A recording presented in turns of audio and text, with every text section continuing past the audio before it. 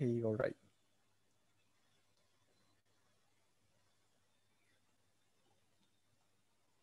Hi, everyone. Uh, Elaine, can, can you let me know whether you can hear me well? Yeah, I can hear you. Yes, Young, right, can right. hear you well. All right, thank you. Hi, good morning, everyone. Uh, thank you for joining uh, our MNS Otter Workshop. Uh, yeah, so I hope everyone is fine and stay safe. So um, let me just briefly go through our program for the day. So uh, we will have three speakers today, and of course, we are very we are very grateful that we have uh, Prof. Ahmad as our moderator today uh, to moderate the session. So, so as you can see, just a moment. Uh, Eileen, can you uh, enlarge the screen?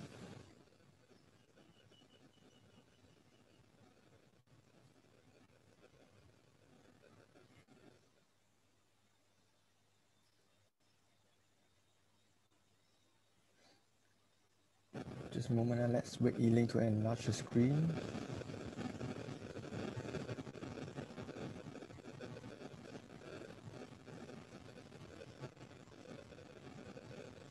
Is this okay, Yong? Uh, you haven't put in the enlarged slide. This show. Hmm.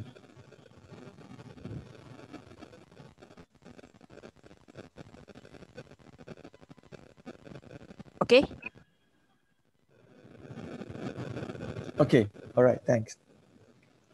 Okay, so this is the program for the day uh, for our MNS Otter workshop. So uh, we will start off later at 9 a.m. We will have Prof. Ahmad to have do our opening speech. And at 9.31, and we will have our first speaker from the Malaysia Otter Network, Annabel, to talk about otter in oil palm plantations. And uh, so each presentation will be uh, 20 minutes and each presentation will end with a Q&A session so please uh, ask your question after each presentation, but no worries. If you have the question for the previous uh, presenter, you can always type in and we will actually, we can actually uh, get back to the, to your question if there are times allow.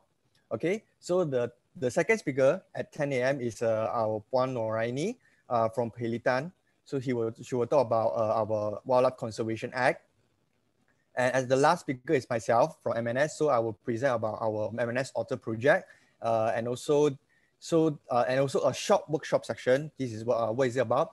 So this is uh, uh, the workshop section will be about filling out the the a form. So we have we have received tremendous amount of sightings, otter sightings uh, uh, uh, around Malaysia, especially in, in urban areas of KL and Selangor. So uh, we have come up with a form for everyone to actually, um, it, it's easier for people to fill it out. Uh, so because currently we are, I'm accepting from email. So, so this is a form that you all will, can download from MNS website uh, and, and we, will, we, will, we will email to all uh, MNS members through, through email and, and you can fill it out and then you can send it to us. So we are at the baby step of actually uh, in, in, in going with this. So uh, in the in the future, we will we will improve it more. So after after my presentation, we will have our closing ceremony and speech by Prof. Ahmad, and then we will have a group photo session. So, so this is the program of the day. Uh, so I will pass back the floor to uh, to Prof. Ahmad for the uh, opening speech. So we are on time at 9 a.m.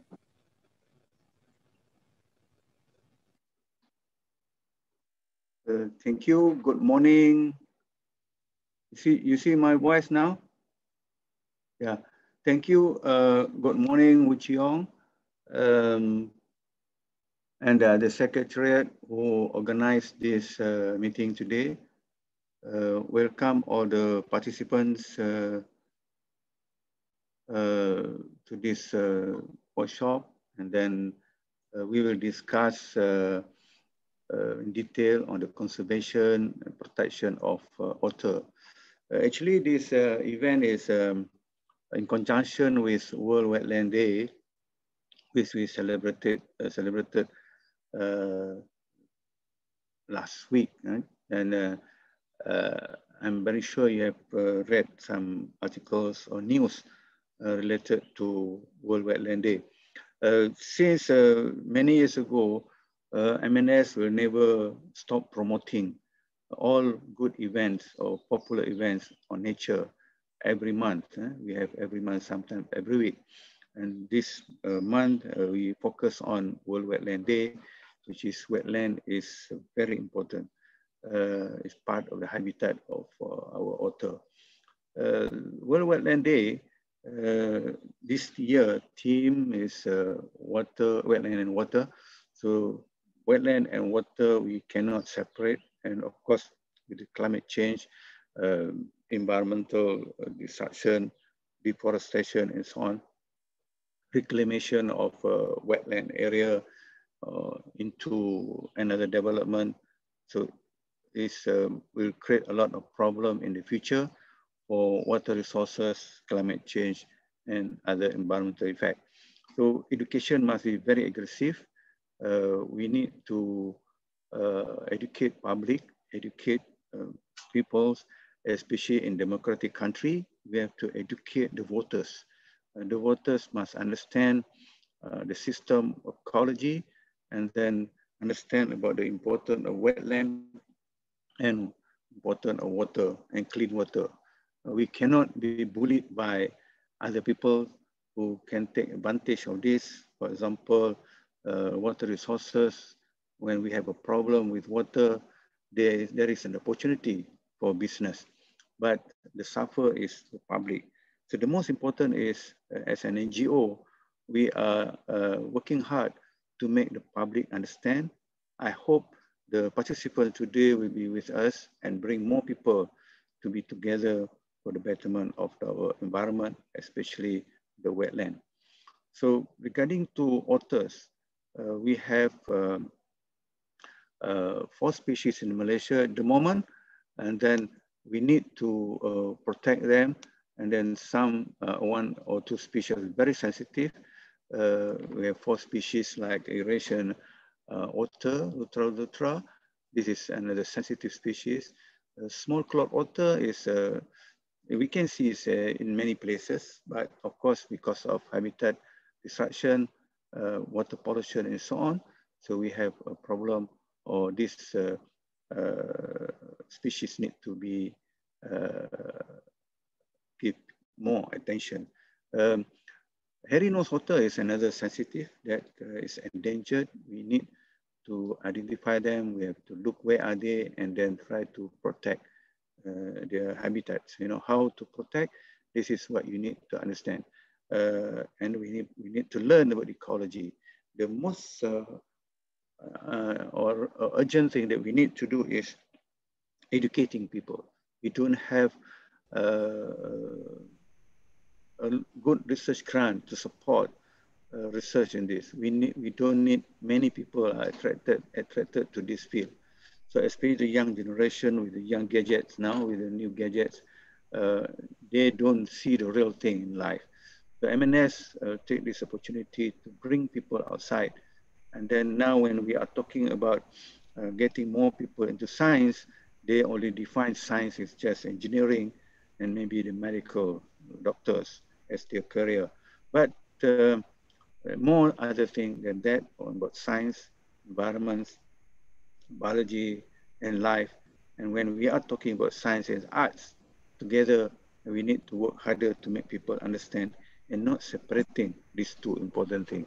So maybe otter actually can play roles in making this together, not just to conserve and protect water, but of course otter play roles in this uh, uh, in our environment. It can be an indicator for this uh, uh, environmental quality. So uh, they, of course, they are in. They need clean water to live. They need a healthy fish to eat. So these two understanding about water, so we can see they really need a clean water. If they are there, we are living in healthy ecosystem. So this is what we need people to understand. So we need more money, we need more donors, we need more corporate sector to participate to highlight this. We would like to thank to Kuala Lumpur, uh, Dewan Bandaraya Kuala Lumpur, who are interested in uh, do research and conservation, public education and so on, on water. I hope this uh, uh, Kuala Lumpur City will get a lot of support from private sectors and so on to, uh, to be together with Malaysian Nature Society uh, and then uh, we can protect uh, otter in the city. This is something that new that we have to do. And then in order to move forward on the otter conservation and protection, we have MON, Malaysian Otter Networking, um, which is uh, very important uh, to bring people together, not just uh, a researcher, but we need more interested people in conserving water and uh, uh, maintain the quality of environment. So I hope by joining this Malaysian Otter Network ini, we can bring people together and then have networking with the international uh, otter network, uh, sharing information, their experience. And I know in, in Europe, for example, they have been working this on otter for a long time. Uh, when they have a problem with pesticides and other chemical pollutant in uh, aquatic environment, otter was uh, one of the uh, good indicator that can uh, help uh, people to be aware on the pollution. So we can learn from their, their experience and then this kind of networking among the professional scientists, corporate and uh, those who are interested in water, of course, I'm very sure we can uh, use MON, eh, MON, uh, Malaysian Otter Network as a task force or pressure, pressure group to make sure our environment is clean and well maintained. This is uh, uh, something that we need to know. In order to do that, we have to, to do more aggressive uh, MON.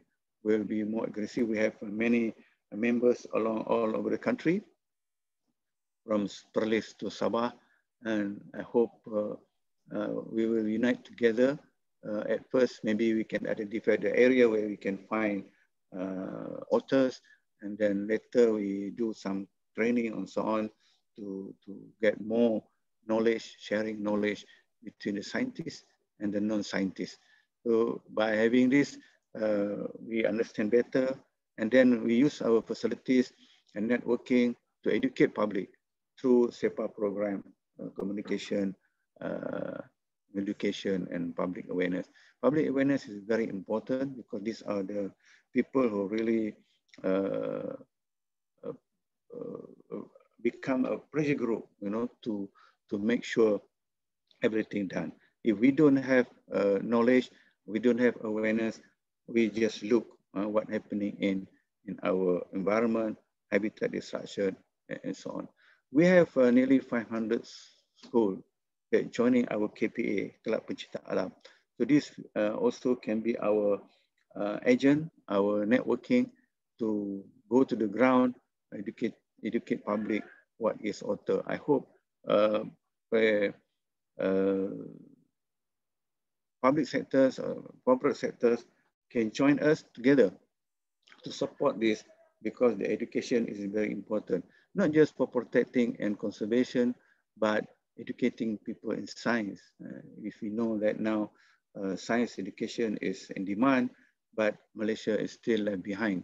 Maybe through this uh, activity, uh, we attract them to think, to think uh, about the environment, to think about the solution, and then attract them to do uh, more research or go into science, then they can help us uh, in uh, conserving uh, wildlife and environment.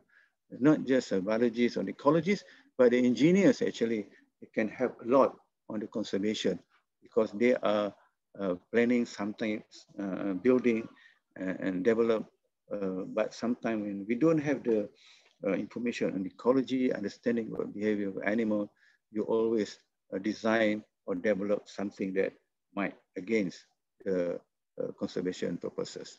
So I think uh, with that uh, short notes, I hope all the participants are aware and together with us, Malaysian Nature Society, work hard for the conservation of wildlife, conservation of habitat. We're not against the development, but we want them to develop accordingly so that we can protect the animals. All right. Okay, thank you very much, uh, uh, the, uh, the, the, the Secretariat for giving me this opportunity. Thank you for the support uh, from, the, from, the, from the participants. I hope uh, this is not just a ceremonial, but we all are moving forward and working hard together with Malaysian Society. Please uh, visit MNS, www.mns.my, and then join a member and support our activity.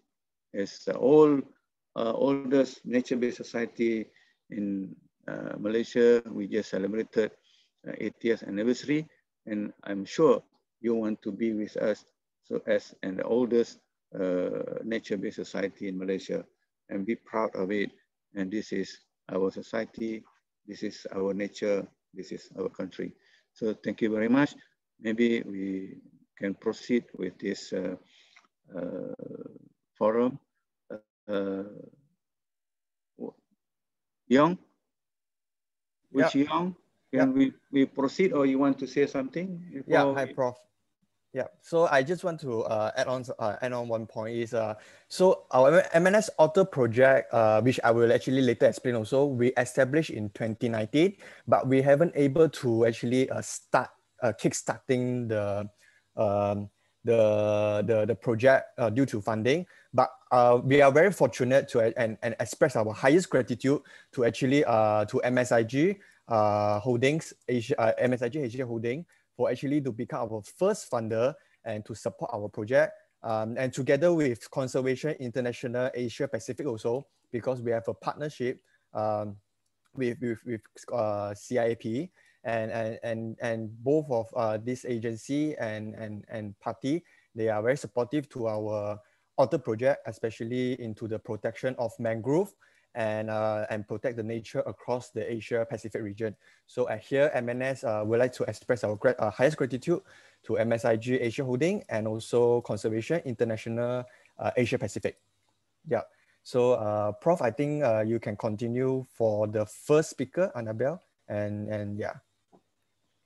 Okay, we want to invite the first speaker, Annabel Timothy Pianzin. She is graduated from University Malaysia Sabah and then conducted uh, research in otter and stream.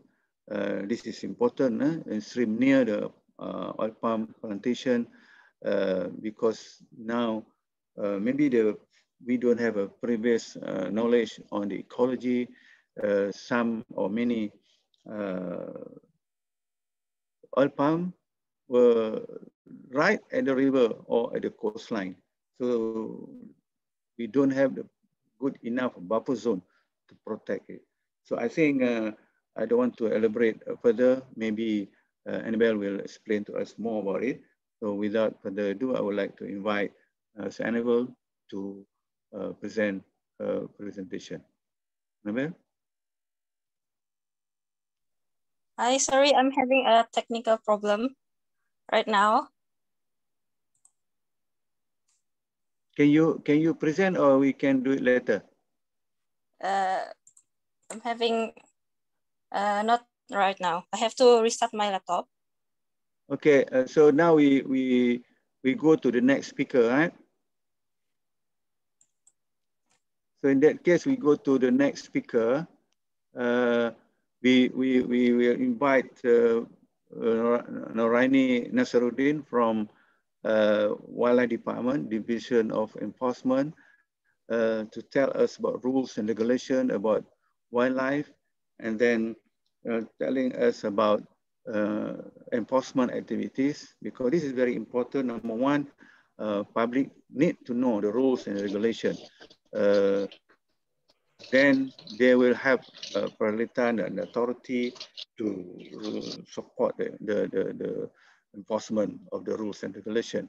Uh, the second one, uh, they know what uh, is doing, at least uh, as we see in, in, case something happened, people like to blame the Perhilitan uh, not doing their job. So let uh, Noraini explain uh, what is rules and regulation, what is uh, uh, Peralitan are doing, and then what we need from public to support uh, our wildlife, uh, to protect our wildlife and preserve or conserve our wildlife as what I mentioned earlier. Uh, this is our nature, this is our country, and we need to protect together, not just depending on uh, one person. So let me share with Norani Nasaruddin. So Norani, you ready? Yes. Yes, Prof. Yeah. Okay. Uh, yeah. Uh, thank you, Prof. For uh, okay. Thank you for Prof for a brief introduction. So, uh, Assalamualaikum warahmatullahi wabarakatuh and very good morning to everybody. Uh, first of all, I would like to thank uh, MNS for host this uh, workshop.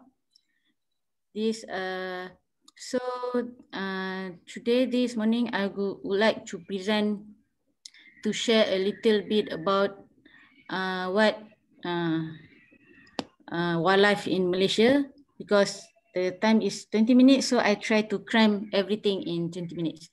So today I'm going to talk wildlife in okay, Malaysia. take your time. oh, okay, because we are are ahead. We have earlier. Okay. Uh, actually, uh, what I'm going to share with all of you today is about loss and conservation. Not specifically go detail on otters, but uh, a little bit general about the wildlife in Malaysia and the, uh, its uh, loss. Okay. Uh, my slide today, I will talk about first uh, overview on wildlife loss in Malaysia. Then uh, what types of wildlife crimes, data and statistic, and then uh, we will touch a little bit on otters, plantation versus wildlife conservation. What's happened there, what's going on, what to do, and the challenges. Okay, uh, for the starting is, uh, we know that we have uh, West Malaysia and East Malaysia.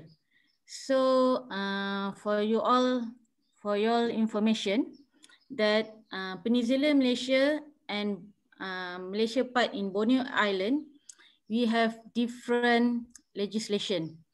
So in Peninsula Malaysia, so the red one is for Peninsula Malaysia, which uh, Wildlife Conservation Act, Act uh, 716 that endorsed in uh, 2010. So uh, this act, we will uh, only can be used in Peninsula Malaysia and uh, wilayah Persekutuan Labuan because it's under federal territory. Uh, for Sarawak, we have uh, Wildlife Protection Ordinance 1998. Uh, so uh, this ordinance is uh, legal in Sarawak only and we have in Sabah, we have Wildlife Conservation Enactment 1997. So uh, this act is worked in Sabah. And another one we have the International Trade in Endangered Species Act 2008, Act 686. This one uh, is also known as CITES Act. This act being used all over the whole uh, the whole Malaysia, include Sabah Sarawak. So this act covers everything. Flora and fauna is covers. But uh, the, at the below I show you is more on the uh, animals, wildlife, wild animals. Okay. So in acts, in the acts that uh, we use in uh, Peninsula Malaysia is uh, Act 716, Act 686 and Act 226.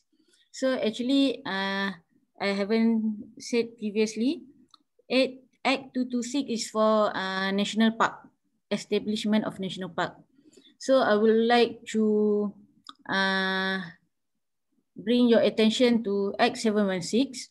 So this Act comprises uh, 136 section and the highest fine is 500,000 ringgit Malaysia and maximum five years in prison. That actually is, uh, if mistaken, is 10 years in prison maximum.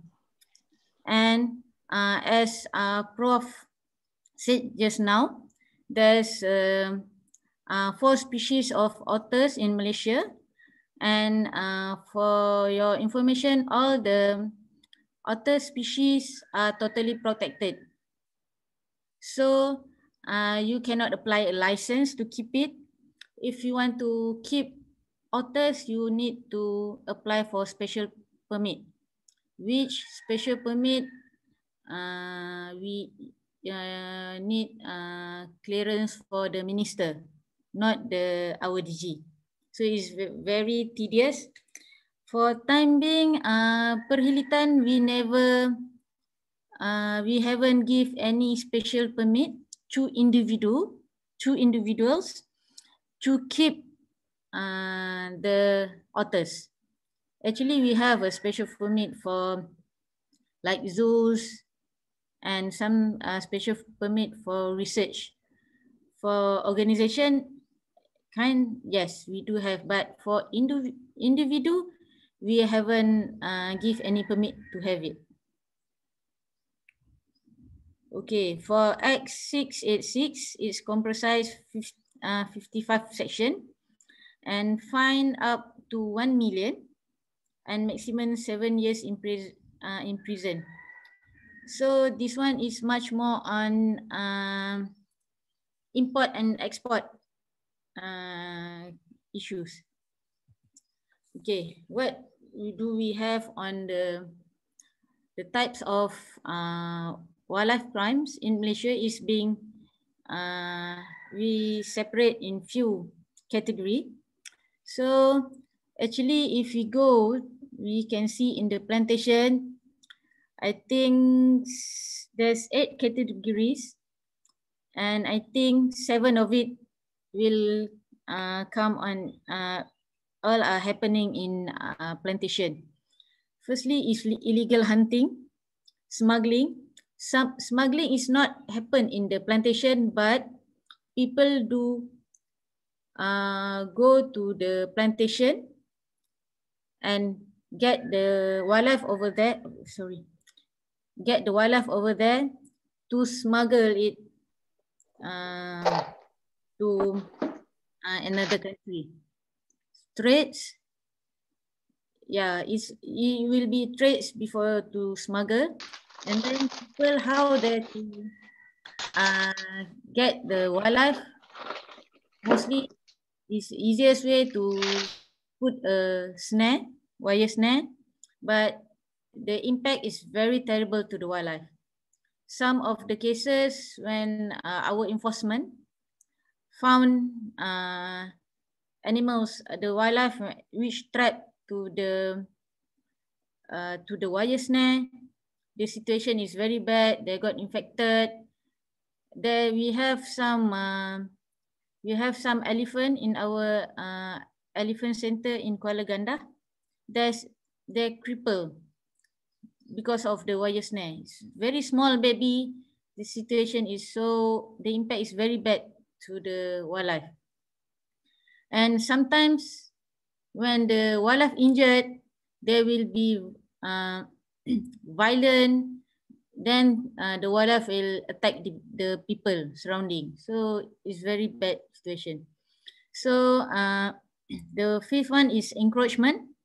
So uh, actually, we used to talk about uh, encroachment from the illegal, uh, from immigrant to the uh, protected area. But I think in plantation, they do have encroachment where outside from the plantation, they goes to the plantation to set a snare for uh, ayam hutan, galus-galus, and so on. People for hunting, so uh, sometimes the plantation they do have the encroachment. So possession, so is uh, people po possess the wildlife, but uh, they didn't have a proper document or without uh, without uh, uh, without license or permit from the authority this possession. If I got, they will be, uh, it will uh, go to the court. Okay. Uh, licensing is uh, usually more on technical, like uh, the license expired and so on. But it's also happen. And last but not least, uh, zoos and exhibit. So there's a few cases uh, because the zoo need to register, they have to, uh, we, uh, the department will do some auditing to check the zoo to make sure the animal welfare over there is taking care, taking well off. So uh, there's a few cases with the zoo also. We, uh, so we're going to see uh, what is going on on the otters. So this report is uh, posted by Traffic on uh, 2008. So uh, from here, we can see, uh, actually you can get the report online.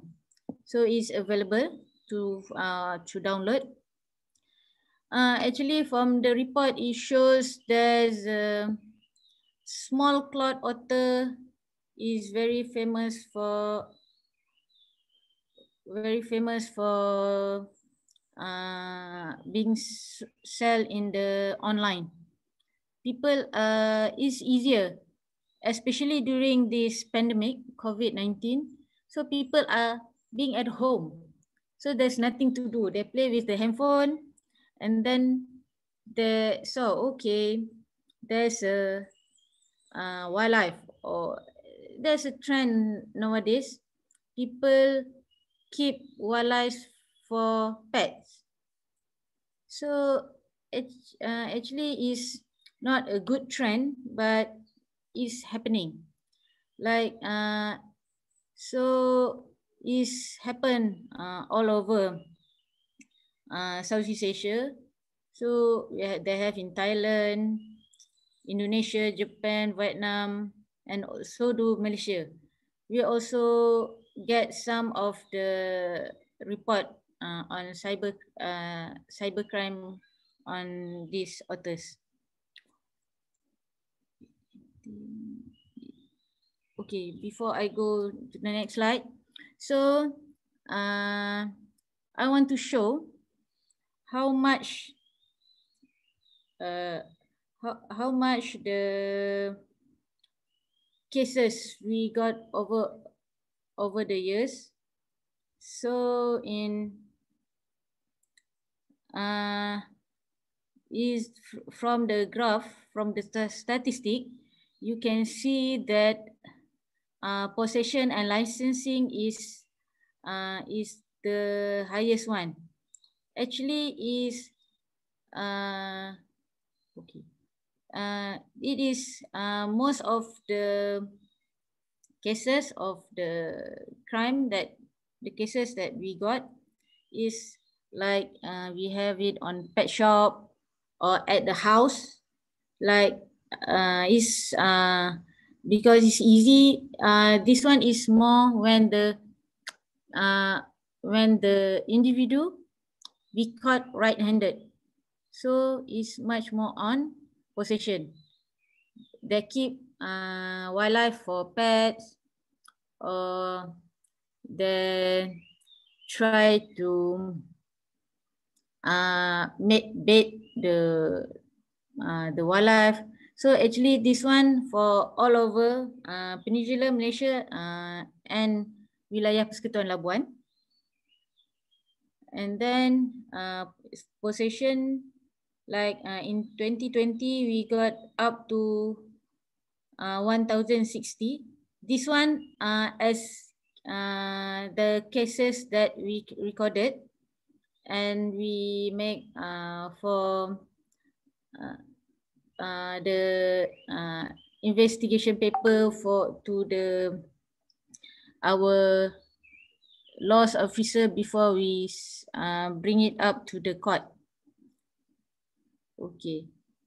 Uh, so uh, we can see illegal hunting we can compare 2019 to 2020 is very high. Uh, there's increment from 2 to 10. It is because uh, what the trend we can see people are the during MCO they they stay at home, so cannot go anywhere. There's nothing to do. So they go and hunt nearby. So, and then there's a smuggling. So uh, this the case actually is uh, a little bit, the smuggling is when people transfer uh, through the borders. So it's quite low because if it's nothing to do with the borders, so it's uh, we we don't uh, count it as smuggling. So it's a typo is others. Others uh, related like um, like zoos just now, like snare, uh, not snares, uh, like uh, torture the uh, the wildlife and so on. So there's um, there's a wildlife crime that uh, we recorded for five years. Uh, it's I think it's very high, but uh, there's uh, some cases that we haven't got the information and they walk away like that is very sad to see. Okay, so we can see for the otters. Uh, the otters, actually, uh, the cases we recorded is for five years, is seven cases. It, uh, eight individuals of otter, live otter that we saved, but one is died uh, due to abusing. So most of them is uh, we found that at home. So actually, as you know, because yeah, we haven't uh, have a slot with uh, uh, about the uh, otters. Actually, otters is a social group. They're not living uh, individually, not solitary. They are grouping. So to get the uh, baby otters for the for a pet, so you have to kill the parents. You have to kill most of the group because they are territorial and social uh, wild animals. So you have to kill that to kill the other group, the other member of the group to get the baby.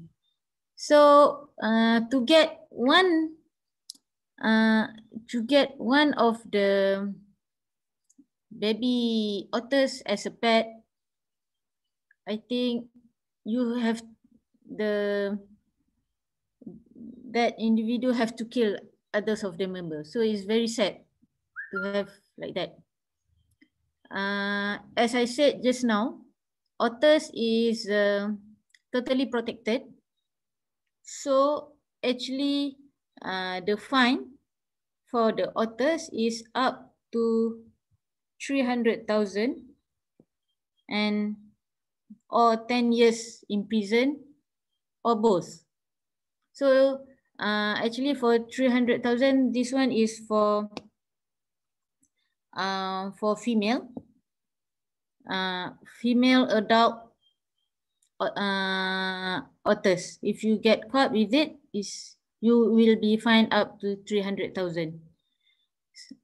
So um, there's uh, for this case, seven suspect suspect are arrested and all in suspect's house, but one in the restaurant and mostly the otters being promoted as pet through online.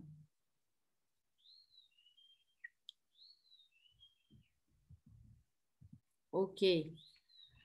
Uh, actually, uh, per, uh, Perhilitan, we do monitor all this uh, online cybercrime.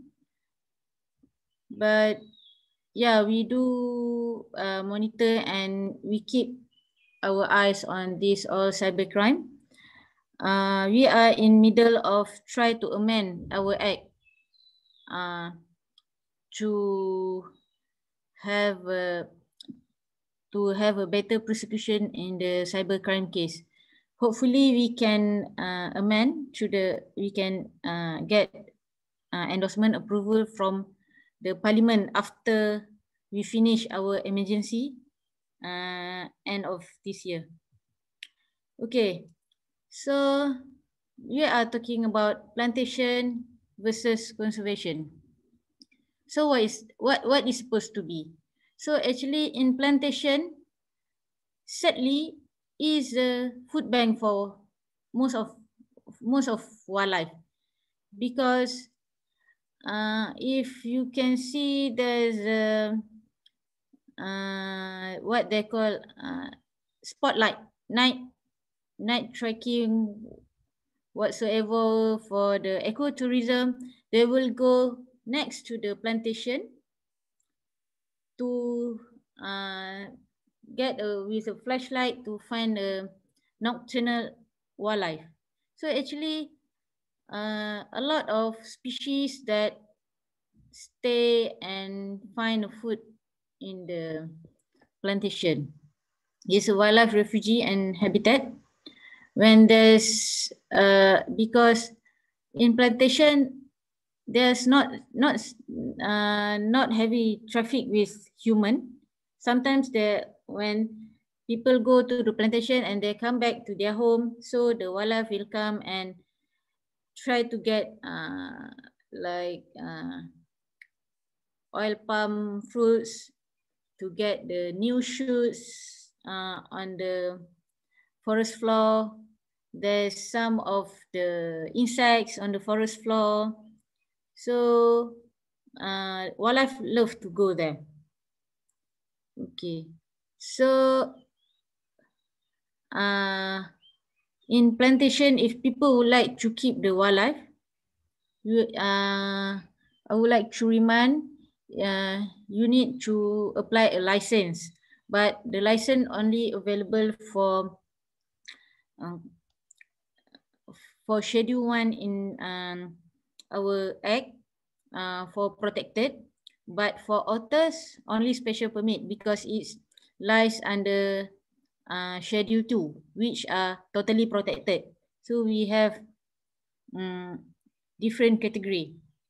So actually, wildlife is a, a biological control. You can see in plantation, there's a lot, uh, they are using owl to, excuse me, they are using owl to uh, catch uh, mice and snakes in the plantation.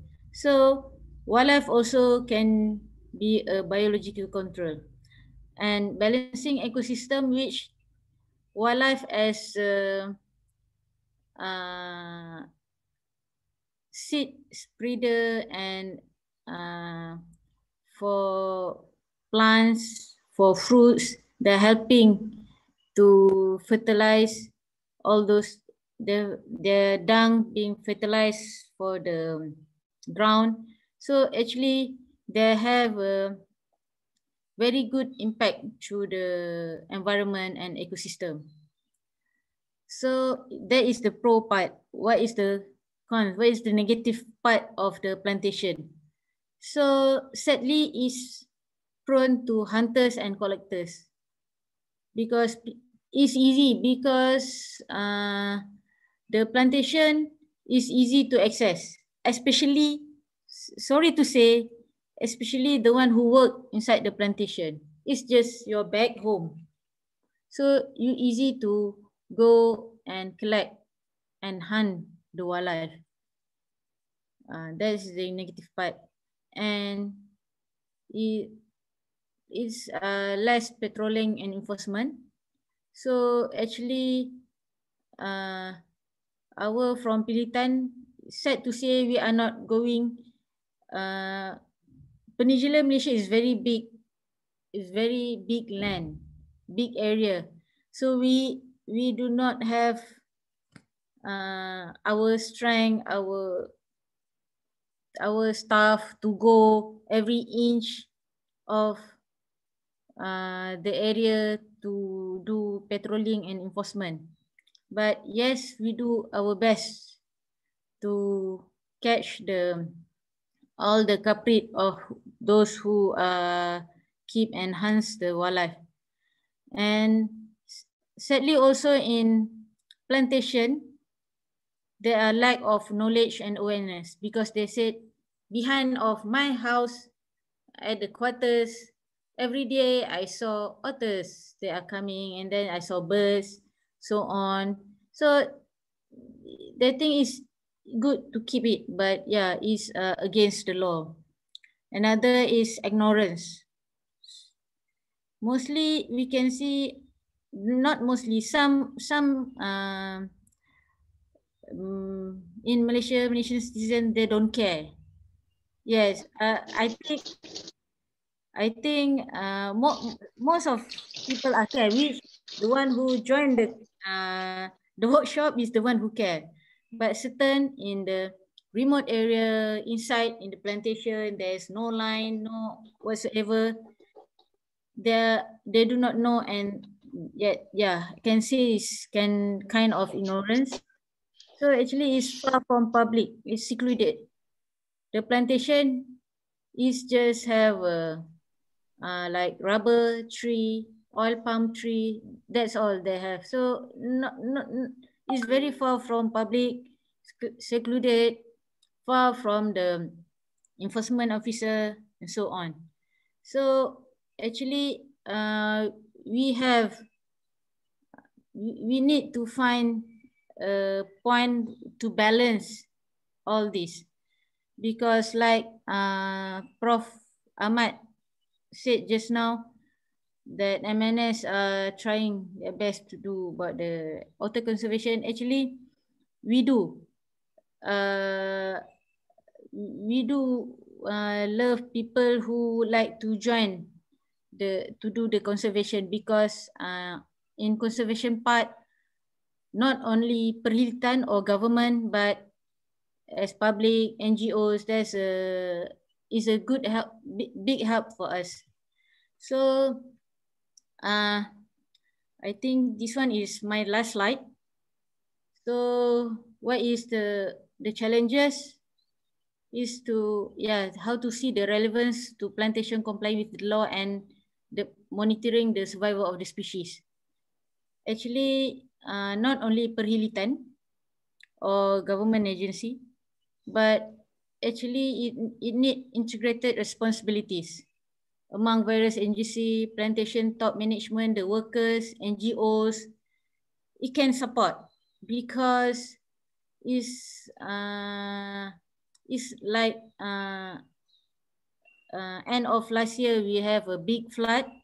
So yes, government did do their uh, job, but there's other agency also, other uh, private sector also help so do these uh, issues because conservation of wildlife is uh, also um, important. And then, uh, as you know, uh, most of the plantation they uh, have signage on no hunting zone, no hunting zone. So it need to enforce, it need to uh, tighten the uh, the uh, order. Okay. And then uh, the plantation or anybody can put some signages and posters to remind to the resident or in the uh, in the plantation uh, uh, not to keep the wildlife. If you like to have for some certain birds, yeah, you can apply a license to the Perhilitan office. During roll call every morning, reminded, remind to all staff and labor, the laborers every day not to hunt or keep wildlife or eat it. Yeah, it's very sad. Routine check checking is uh, from the plantation. From the for the plantation is good. Uh, have checking uh, probably from Police Bantuan to make sure because if uh, we have a case inside the plantation, sometimes it will uh, affect to the owner of the plantation also. So uh, others is mitigation, in-house wildlife enforcement team is from the uh, is from the plantation to prevent and reduce the crime. And last, but last but not least, uh, report the wildlife crime to the authority. So it's either to have a compound or court case. But in case for the otters, there will no compound. It's just direct to court case because it's uh, totally protected. Yeah, I've been one. I think that's all. Uh, Thank you. Thank you, Noraini. I, I, I hope uh, the participant understand better about the rules and regulation and uh, uh, function. Uh, many questions, but uh, I will ask you uh, only one question. How far is otter usually disturbing this fish pond, for example? because we have a lot of problem from fishermen uh, fish pond operators, for example, now during migratory bird, and then uh, otter uh, disturbing their pond. Is there any any case uh, uh, that you are uh, that reported to you, or any advice that you give them regularly? Because I'm very sure all the fish pond operators has registered with Majlis Daerah at least, or whatever authorities and and I I know that Perhilitan always left out in this. Uh, so how far are you monitoring this fish pond and conflict with otters? Okay, uh, thank you, Prof, for the question. Regarding to the fish pond, I think it's mostly being reported in Temerloh for ikan patin fish pond. There's few cases being reported. So actually, uh, because uh, generally as I think everybody known that we only have four species of otters in Malaysia and uh, some of it is uh, very to totally endangered. So the numbers is keep uh, reduce, decrease due to uh, due due to of lack of the habitat. But actually is what what what we can say uh what I can say is actually we when we got a report from the uh the pond owner so is uh we try to advise them to mitigate it because actually is uh the fish pond owner is usually near the river is their their habitat so the owner need to to monitor and secure the uh, the the fish pond because uh, actually uh, we won't uh, take it down. I mean the otter because it's their habitat and sometimes it's a seasonal. But we can say like you have uh, when there's a food, easy food, they keep going there. So it's something like like what we have uh, uh, elephant conflict. They go they the elephant go to plantation. So we ask the plantation to give way some some of the area for elephant to feed on. So it's something okay. that we can do win-win situation. Yeah. Some of right. some for the otters and it's like zakat lah kot. yeah, but not not many people. All you must remember, uh, the business people want maximum profit. So I think we need to educate them. We need to do something that we can solve this problem. Okay, thank you very much, uh, Puan Rani. Yes. Uh, I will uh, uh, come back later to you uh, with many questions because uh, I, I can see the public are very interested in uh, wildlife department and wildlife in nature.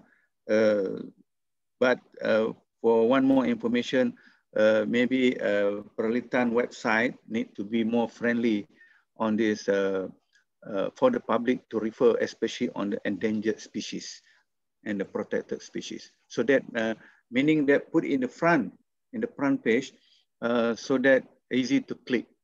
All right. For the next uh, speaker, I would like to invite uh, Annabel. You ready now? Yes, I'm ready. Yeah. Okay. We'd like to invite Annabel to present her presentation. Okay.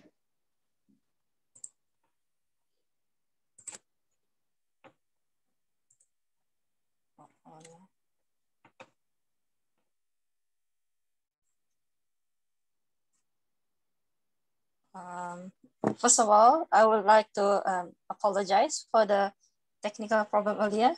Uh, thank you for invi inviting me as a speaker for the workshop today. I would like to greet everyone a very good morning. Um, I'm Annabel.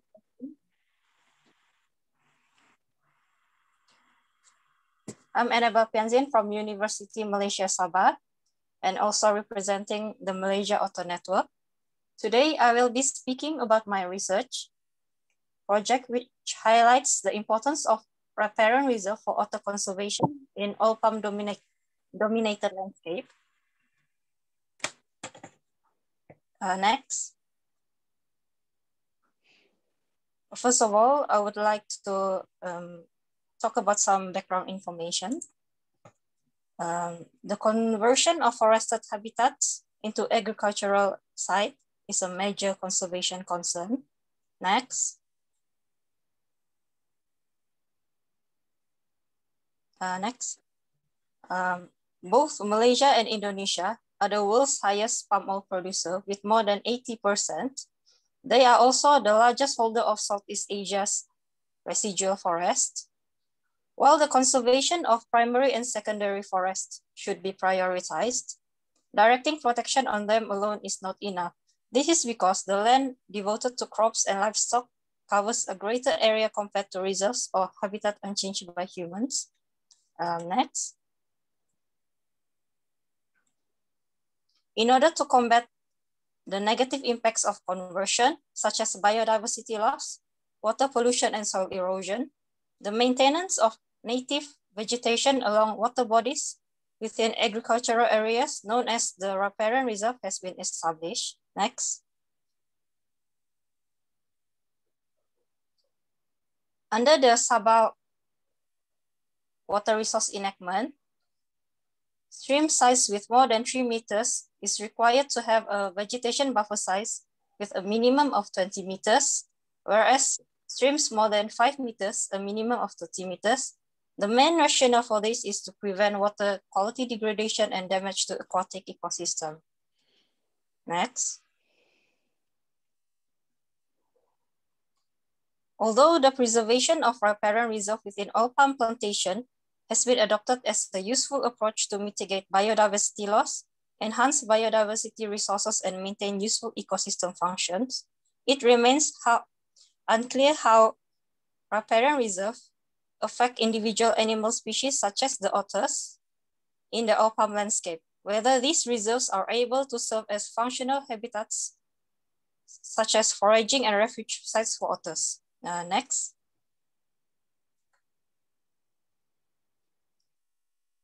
Out of the 30 species of otters worldwide, four of them occur in Malaysia. All four species are also residents to Sabah. Um, there are three endemic species to the Asian region. Um, next. uh, sorry, uh, previous again. Uh, this, the otter with the star sign is the endemic species to the, the, uh, to the Asian region, which are protected under the Sabah Wildlife Enactment 1997 under Schedule 2 Part 1, where hunting and collection are allowed under license. Uh, next. There are three main research objectives. The first one is to determine the species and distribution of otter. The second is to identify the occupancy of otters in different land use changes. In this case is continuous log forest, heavily degraded forest, riparian reserve within oil palm plantation and oil palm plantation without buffer zone. And the third one is to investigate the microhabitat structure in OPAM areas that are highly correlated to the presence of otters. Uh, next.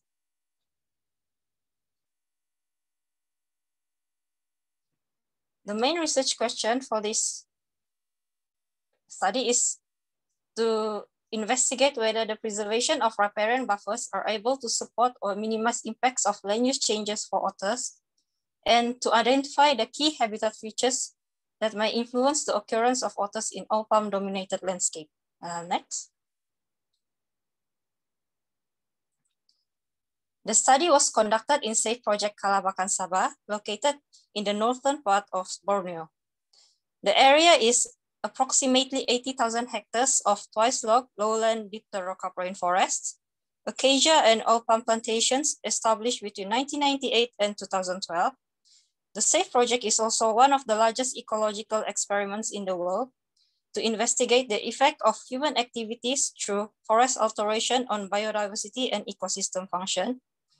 The area which is um, bolded in black is the experimental area, which has been gazetted for the conversion of plantation in the last 20 years.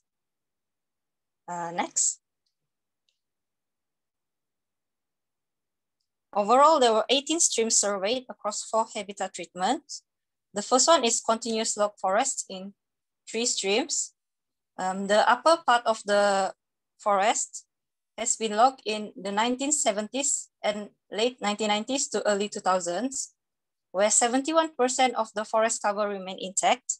The area is also connected to a large forested area with more than 1 million hectare, encompassing three large conservation areas the Danum Valley Conservation Area, Maliau Basin Conservation Area, and Imbak Canyon Conservation Area. The three conservation area have never been logged before. Next.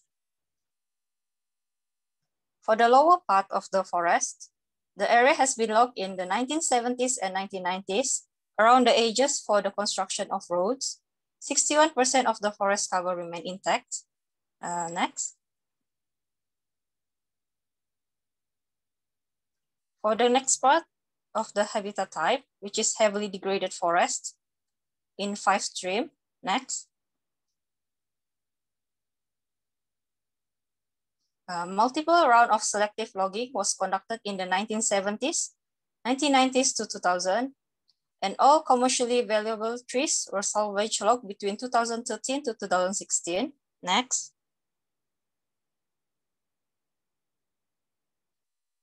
The next habitat type is the riparian reserve within palm plantation, which is the buffer zone in eight streams. Next. The area in white is all oil palm plantations established in 1998 to 2012. Uh, next. And lastly is oil palm plantation without any buffer zone, two streams. Uh, next. The data collection was conducted between February 2017 to August 2018. Uh, next.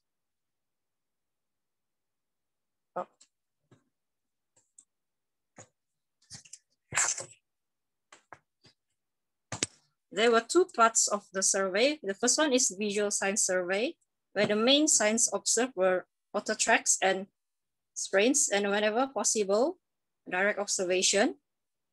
Two subtransects of 500 meter in length uh, was uh, constructed, constructed along the riparian area, which was separated by a one kilometer gap each of the subtransects was further divided by a 100 meter replicates. Overall, 36 subtransects across 18 streams was used and the occupancy survey was replicated four times. For the next part, which is the habitat characterization, physical habitat variables were recorded at 100 meter interval. Stream and vegetation variable documented such as altitude, forest quality, uh, shoreline substrate, and cannot as well as disturbance history such as distance to human settlement and estate and disturbance history of the area. Uh, next slide.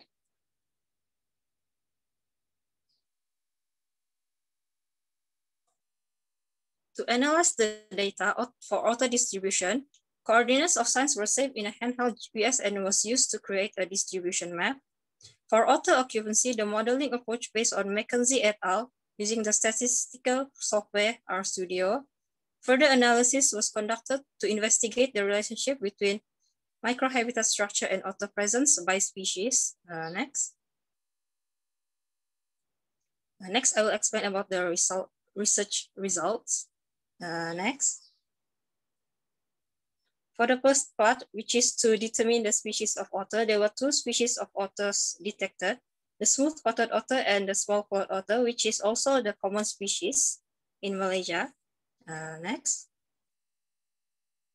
A total of 87 otter signs were found in 13 out of the 18 streams surveyed. Uh, next.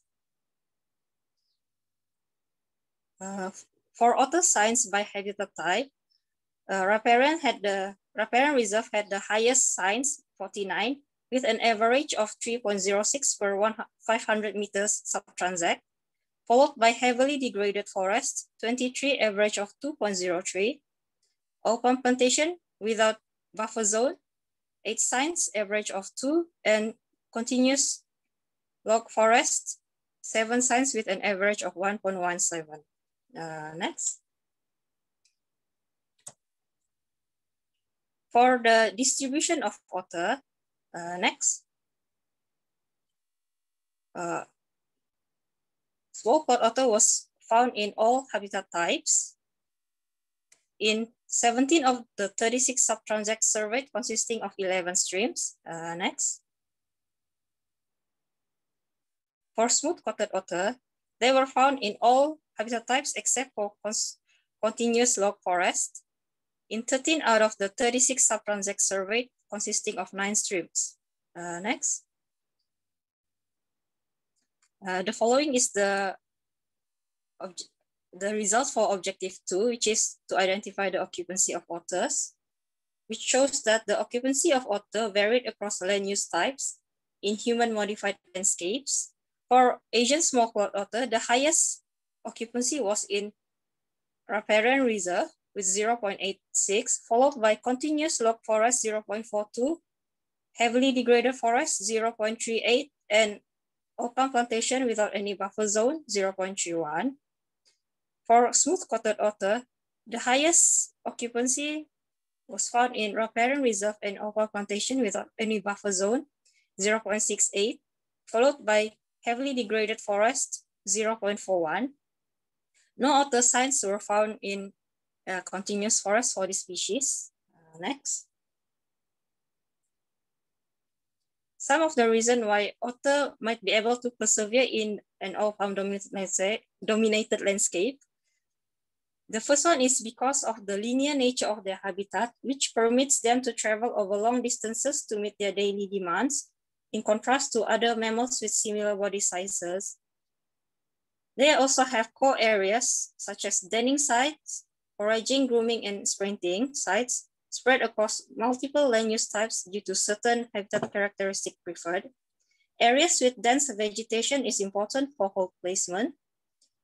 They prefer undisturbed and secluded area for their natal den.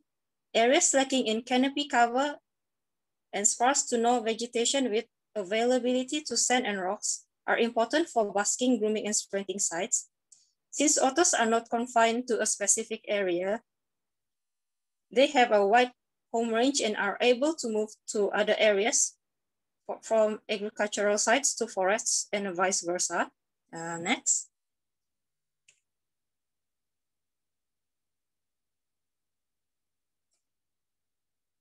Due to the recent disturbance in heavily degraded forests, where all commercially valuable trees were salvage logged in 2013 and 2016, the quality of forests and streams were compromised.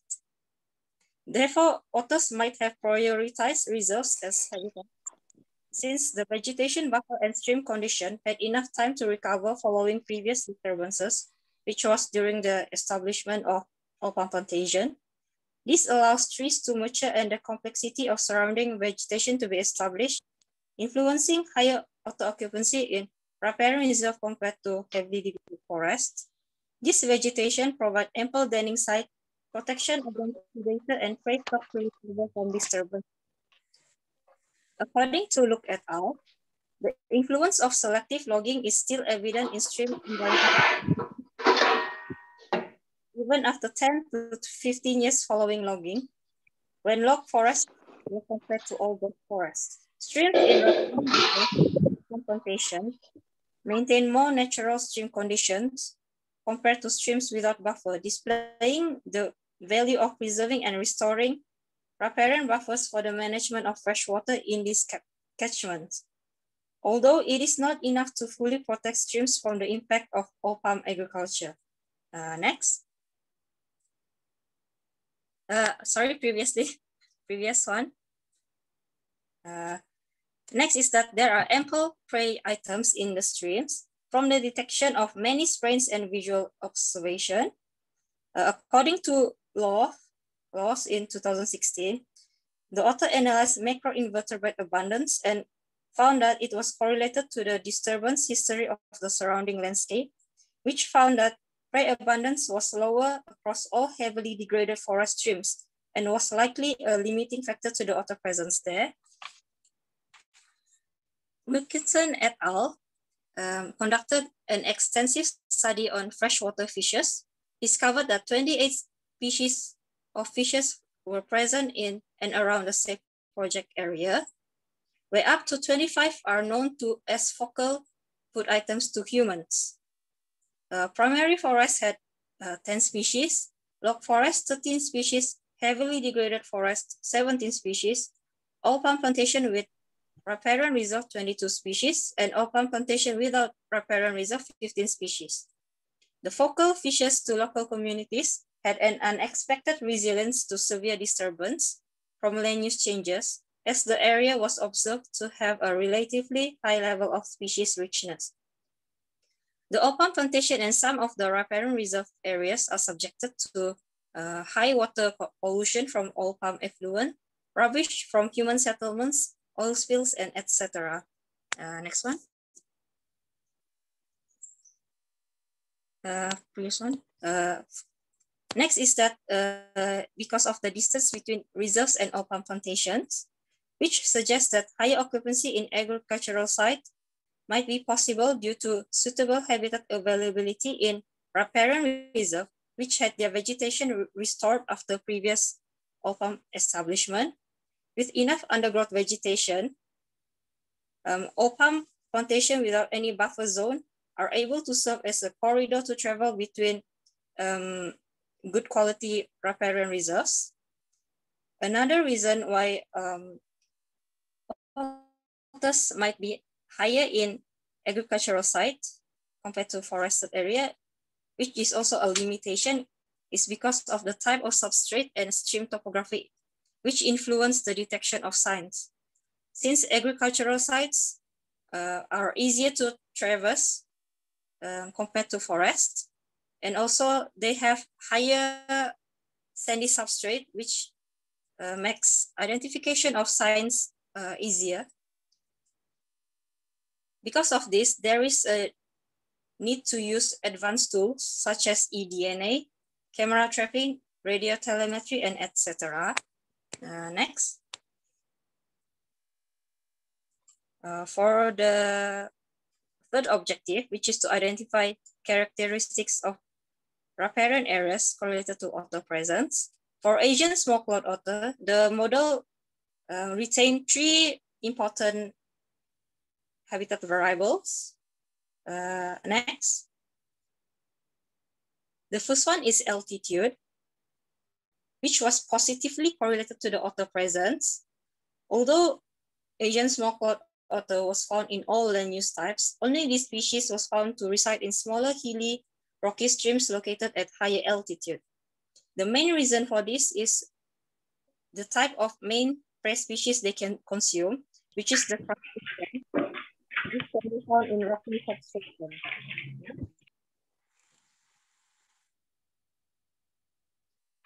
Uh, next.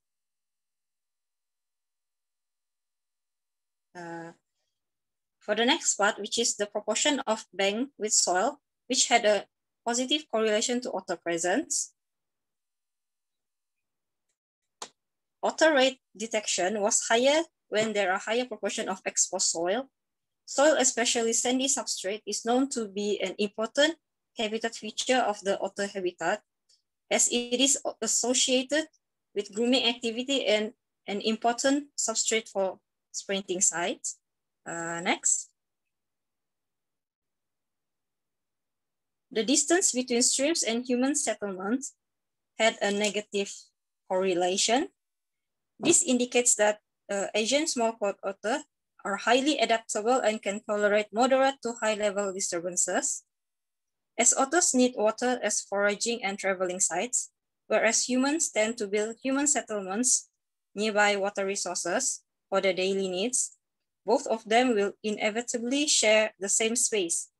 This may cause conflicts to arise when they compete for food resources, as they are known to, as pests to fishermen and pond owners. And as a result, they are susceptible to being killed. However, they are usually they usually avoid human by coming out when there are fewer disturbances. Uh, next. For smooth-coated otter, the model retained four important habitat variables. Stream width and depth has are significant variables and had a positive correlation, whereas the two other non-significant variables that were included into the final model were number of trees and bank undergrowth cover. Smooth-coated otters usually inhabit medium to large water bodies containing fish, high fish productivity and tend to hunt for larger prey compared to other otter species sharing the same habitat. Uh, wider streams were mainly situated in riparian reserve and heavily degraded forests, located at low to moderate altitudes where fishes are plentiful. Stream depth showed a positive correlation when mostly were found in riparian reserve compared to other land use types although the streams in reserves were not deep enough to hinder otter hunting session. Uh, deeper streams usually contain a high congregation of prey items. Even though the number of trees and bank undergrowth cover were not significant, they are vital features of an otter habitat as they act as a buffer to disturbances, contribute to bankside diversity, and protection against predator. Uh, next. Uh, next. Uh, next again. In conclusion, the, com the two common otter species are able to survive in an oil palm domi dominated landscapes. The results suggest that agricultural sites with a combination between riparian reserves are potential functional habitats for otter as for foraging and refuge sites, which has been underestimated in the past. By retaining riparian buffer strip, it was a successful strategy in limiting negative impacts of agriculture on freshwater ecosystem. However, it should not replace continuous forested habitats as they lack vegetation communities and are susceptible to extreme fluctuation in abiotic variables such as higher diurnal, temperature and lower humidity. Uh, next. That is all for my presentation. Uh, thank you very much for listening.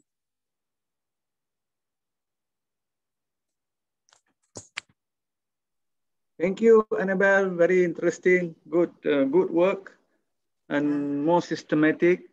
And uh, hopefully, uh, uh from your result, we can suggest. Please write quickly. Send to MNS, MNJ, uh, so that we can uh, highlight it, this finding to guide the plantation operators, government departments, and uh, public awareness. Uh, MNS actually is very important, NGO. Everywhere in the world, NGO play roles because the members uh,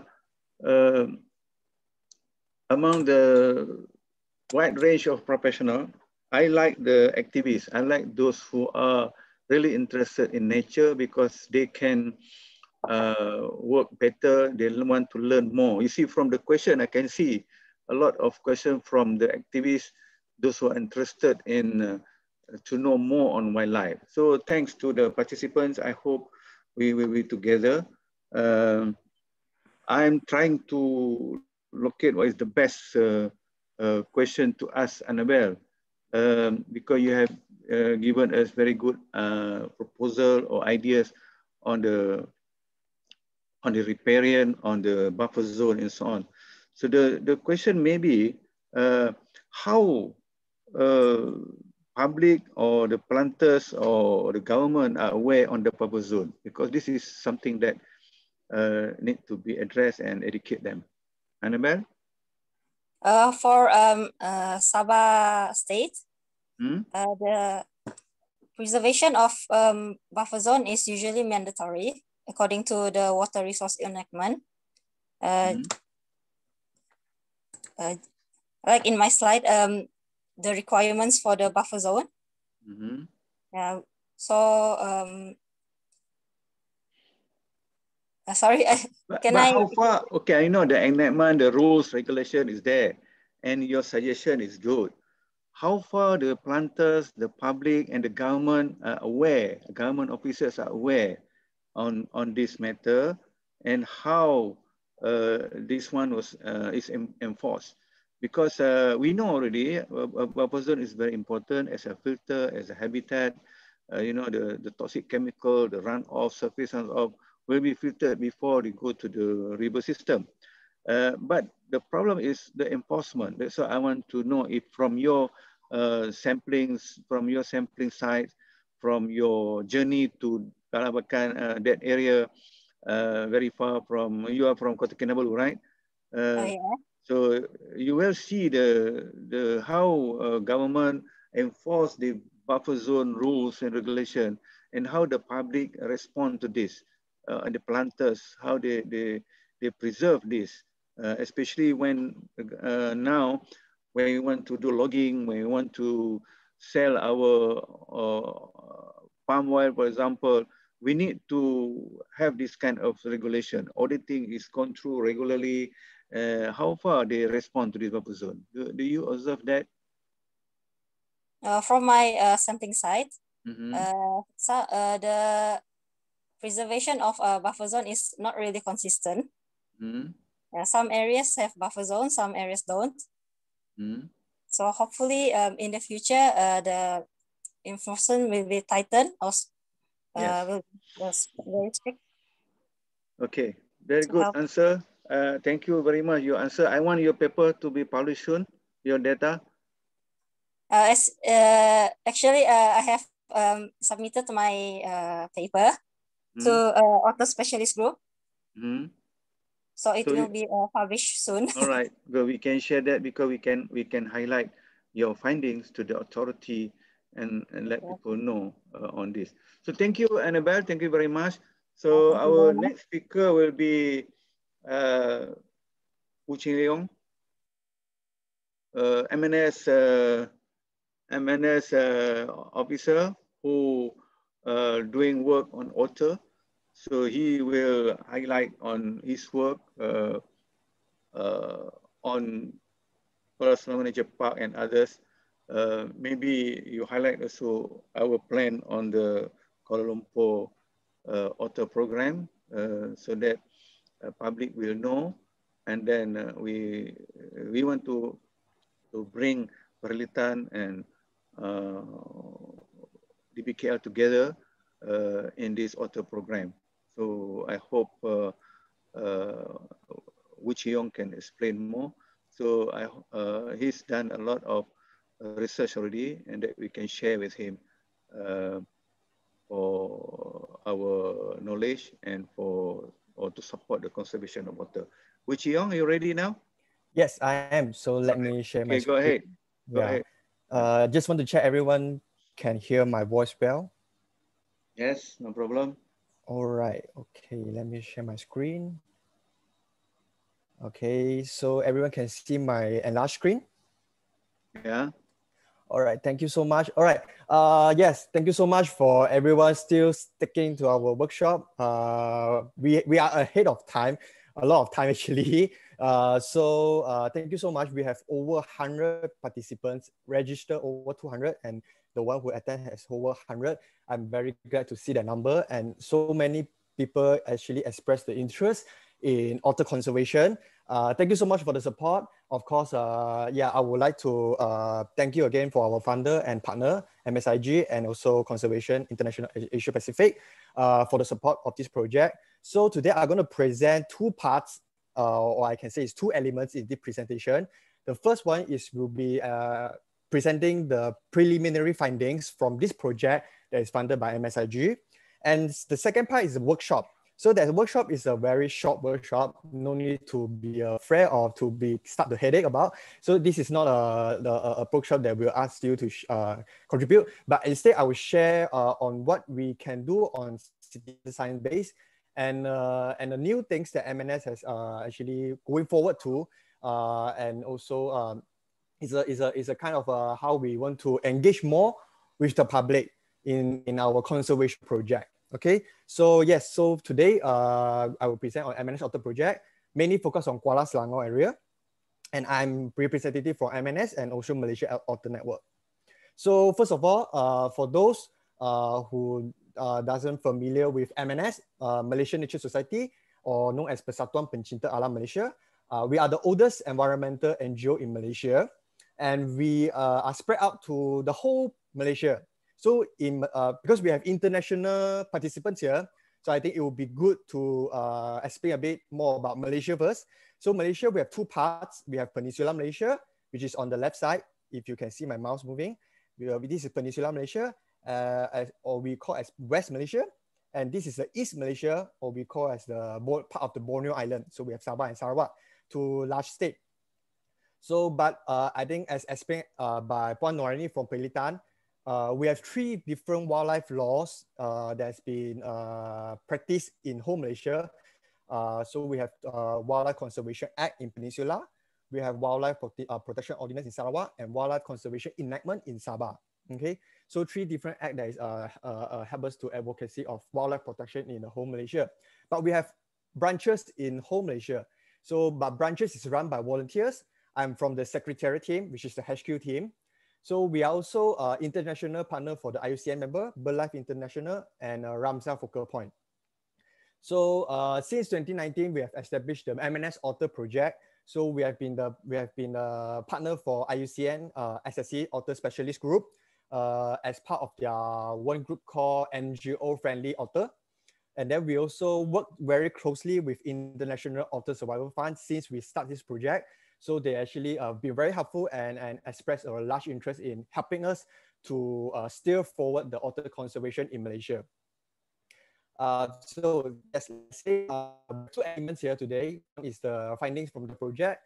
The second one is a workshop. So uh, I could take a bit more time than the previous uh, both speakers. So uh, take a coffee, take a sip, yeah, and and and, and yeah. So just go through the detail. So let's backtrack a bit on, uh, I want to explain like how this otter research actually started in MNS. Because uh, as we know, in Malaysia, there's not much focus on what we call as um, less charismatic or charismatic challenge species. So this quite often are referred to the smaller size animal because they are not so attractive and not so uh, easily noticed by people. So unfortunately, otter is uh, one of them, although they are not small, I can say that. Uh, the like the largest species, smooth-coated otter, is uh, is about from the nose until the tip of tail is about 120 uh, to 130 centimeter. It's as I uh, I think I can say it's a medium-sized animal.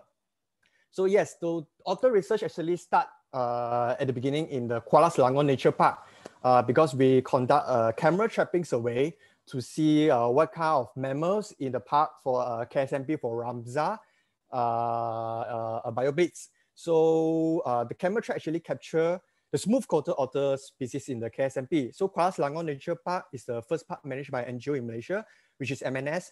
So MNS is managing KSMP on behalf of MDKS.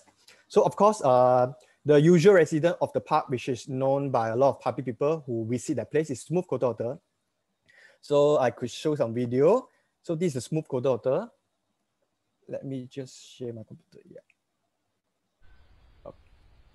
So um, yeah, this is uh, captured in the uh, Kuala Selangor Nature Park. So this is one of the behavior that they would like to do when they clean the fur because uh, we do have sea otter, okay? So as, uh, as we have mentioned, there are four otter species in Malaysia.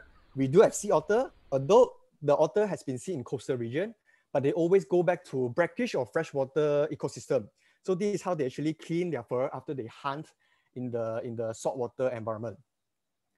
But our camera trapping also find out uh, another surprising find, uh, finding, which is the Asian small claw otter.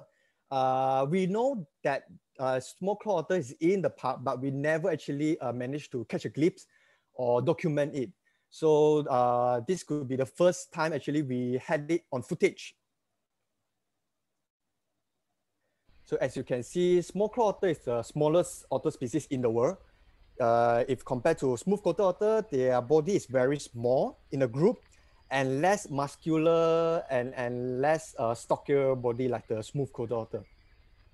And, and like just now, actually, one of the otters stand up, you can see the, the, the digit of the feet, actually, the claw doesn't extend beyond the digit. That's why they have the name of claw small claw. So uh, there's something that we found that unusual because camera trap sometimes is a bit very difficult to identify otter species. They are, lot, they are not like tiger uh, has a different uh, body pattern stripe that can ID uh, based on uh, an ID up to the individual level. So otter doesn't have that characteristic that we can able to ID that and differentiate them in terms of species is a bit challenging also when we come to camera trapping. So here's one video. It's a very short, just a three second. Yeah, so uh, we thought that, okay, it's a smooth coated otter because it's a big size. It's not a small size. So we thought it's a smooth coated otter, uh, but I tried to uh, look into more details and I tried to play and stop, play and stop. So this is what we found that, um, so there's a white color lining. I'm not sure whether you can see it clearly from your side in the, in the, uh, from your laptop, but there's a white color lining uh, at the chin level and at the throat level. So for the hairy nose otter, it's very easy to distinguish from the other otter species based on the, the, the appearance is the white color lips uh, chin and actually throat. Sometimes they will go until the throat level. So if you see that, that is the hairy nose. Because the, the best way to, to identify hairy nose is the nose part, because the, this is uh, it is uh, only otter species that has the hairy nose. Other otter species are like dogs and cat, has a hairless rhinarium. Okay, so this is a hairy nose otter, and we found that yes, uh, in fact, a hairy nose otter actually found in KSMP are very surprising because this is a small area and it's a coastal region which um, which uh, we, we thought that hairy nose is only confined to swampy area. But we uh, look at some published, uh, published paper and also some history about hairy nose otter in Kuala Selangor. Uh, but we found something that can correlate to our sightings in KSMP. Uh, but I, I know it's a bit early, but be prepared for some unpleasant image that I'm going to show you. So this is one of the roadkill uh, in, in, in Kuala Selangor. Okay, uh, actually this is a document uh, at the boundary of North Selangor Peat Swamp Forest. Is is quite near to Kuala Selangor Nature Park actually. So it, it, it identified as a hairy nose because of the rhinarium part and also the white color uh, distinguishable features. And of course, uh, in 2020 January, one of the local people actually called me up and they say they found an otter that is unusual looking because they never see that otter with that face feature before. They only seen smooth coated and Asian small claw. They say this is something that they haven't seen before. And I have mentioned to them before about this otter species. So they snapped a picture to me that is a roadkill and also is a, uh, at the boundary of North Selangor Swamp Forest.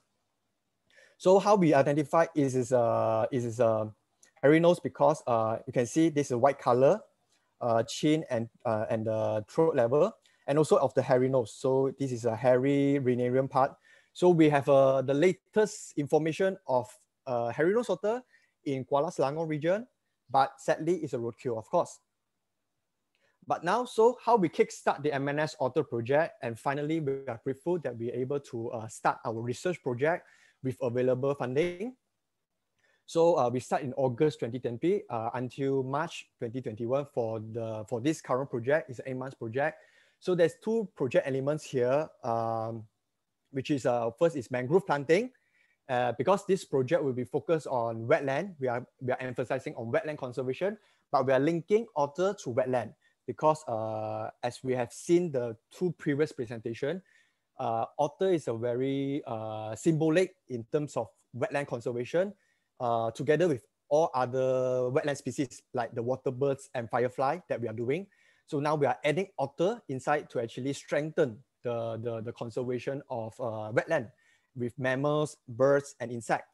So the second activity is which is our MNS Otter project.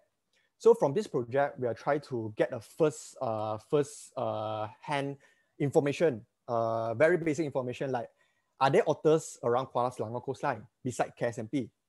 Because what we know so far uh, is only uh, we have documentation of otters inside the Kuala Selangor Nature Park, but we haven't go beyond out of the boundary of KSMP, which is a very long and uh, big, big, big area, a coastal area. But where are them? Where are these otter species if they are present outside of the Kuala Selangor Nature Park? Because along the whole coastline, which is called as the North Central Selangor Coast, KSMP is the only park uh, that is protected, that is protected with the support from the government, and the MDKS, and how many species of them? So we know there are three species in KSMP, but how about the other area out of this uh, protected area? So of course, the, so the objective, we will, we will try to close the gap of eco ecological knowledge on coastal and also try to generate awareness and capacity built on otter conservation among the local people and the public, like you all now uh, having this workshop. So the study site is the North Central Selangor Coast. Uh, so why we choose this site? Because uh, North Central Selangor Coast has been uh, has been uh, uh, a study site that we MNS has been uh, studied for quite some times uh, through our Asian water bird census and also water birds project that we count uh, the water migratory water birds every year. Uh, so this is one of the site that is also identified as important bird and biodiversity area, IBA, and based on uh, BirdLife International, they recognize this IBA as an endangered IBA because a lot of uh, activities and development going on. And it's, also, it's, and it's also a very sensitive uh, ecosystem because it's a mangrove, but now it's a fragmented mangrove forest and a mixture of uh, a lot of different land use type. So when you zoom in, so the north central Selangor coast is uh, range from the top tip of uh, Selangor coastline which is Sabak Bernam, up until the Klang Island. But for this, uh, for currently for this project, we only focus on Kuala Selangor region. Uh, but we uh, we have a uh, we have a funding coming in, so we will actually extend the study across the whole uh, coastline, which include Klang Island and Sabak Bernam. But of course, we still hope that uh, the MCO will improve so that we can uh, cross district uh, without uh, strict restriction so this uh, whole range is range about uh, 100 and kilometer stretch. So this is our base, Kuala Selangor Nature Park. is a mixture of uh, artificial tidal lagoon, mangrove forest, and also a secondary forest. So let's focus on what we have what we have done from, from this project. So we are focusing on Kuala Selangor coastline. So what we focus is uh, from the Tanjung Karang area up until the Jeram area. So above here is the is considered as Sabak Bernam, and below here is considered as a Kapar, which is under Klang region. So for this project, we surveyed uh, three transect. What first one is the Tanjung Karang site, which is 3.3 kilometer long. Another site is the Banjar North site. This is very interesting because this is a Banjar North Forest Reserve. is uh, probably the largest uh, intact uh, mangrove forest reserve along the coastline, and it's a very important high tide roost for water bird. Uh, so this whole uh, transect, we haven't been done any survey before. So this is the first uh, comprehensive survey that we have uh, conducted. Uh, it's a very long survey. Uh, it's a very long stretch, which is uh, 10 kilometer. And for the goes to the southern side is the Bagan Sungai Buloh, uh, which is uh, yeah also range about 3.3 kilometer long. So we are looking at the at the at the study site of a mangrove forest with oil palm plantation. So like I say, uh, it's a mixture of a lot of landscape. We have mangrove forest, we have, uh, you can see the box, uh, like a box of greenish. This is all the agriculture, mainly oil palm, uh, some coconut. And also if you can see a white color, white uh, grayish color box, this is the aquaculture farm. Okay, and aquaculture farm also uh, actually is, is opposite of all the oil palm plantation as well. So basically the whole coastline is, uh, is actually uh, kind of covered by oil palm plantation. So what we, uh, our survey method, so what we did is quite similar to uh, Annabel. We use line transect to survey the otter signs. We're looking at the signs because uh, otters are very distinguished. So they actually, they actually, uh, uh, they actually deposit spraints, what we call spraint, but it's also known as scats. That's, that, that spraint or scats, it actually has a very uh, fish odor that you actually can then distinguish for any other animal that you know that see, it is an otter. And you can see, uh, later I will show the picture. So you can see through the feces, you will know that it's otter. But it's different kind of uh, content of the feces that, that is very interesting. That, that is an important study that we will going to conduct. Okay, so we do science survey. So this is a coastal region, different from Annabel. Annabel is a kind of a inland area. So we walk on the bund. So at the left side, the picture, this is a walking bund. So the right side is a mangrove forest. The left side is uh, agriculture, which is plantation or coconut. So there are spec- uh, there are transitions, there are transition zone in between this uh, landscape, which is a canal and the bund. And another survey, uh, survey line transect that we are going to do is inside the oil palm plantation. So we will ask the permission from the owner because all these plantation along the coastline are smallholder. So we will approach them one by one. This might take a bit of effort to actually gain their trust, to explain to them uh, what we are doing, uh, what we try to actually achieve and, and, and, and, and forge a collaboration between uh, with oil palm plantation people. And if they have given us the uh, permission, then only we go in and survey. Uh, if we do it without the owner permission, it's, it's consider, we are considered intruder. So that might cause a problem. Uh, so an addition to uh, uh, uh, uh, on Annabel study is we use camera trap. So we're able to install uh, a few camera traps along the Bagan Sungai Buloh transect and also the Banjar North uh, transect. So that's the uh, camera trap location that we actually put.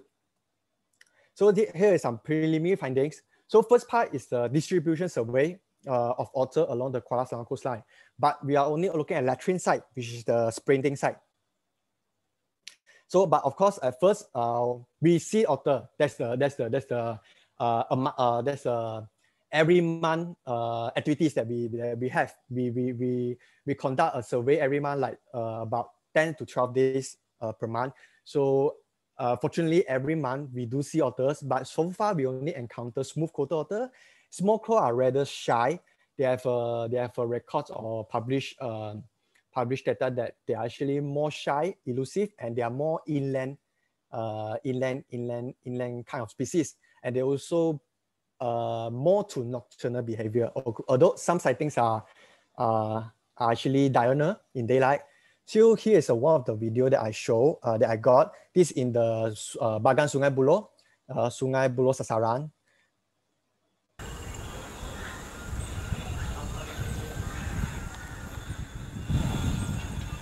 So this is a big group of otter that we have counted about 20 plus smooth-coated otter species. So as you can see, this is a river. And on the right side is the mangrove forest.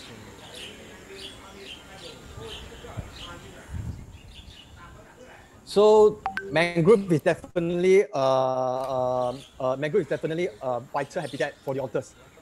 They, they definitely like it. This is uh, one of the habitat they will actually uh, venture into because the river run around the mangrove lake is a, is a good place for fish breeding. So for smooth coated otter, which they actually uh, prefer fish as diet, so they will always hunt there.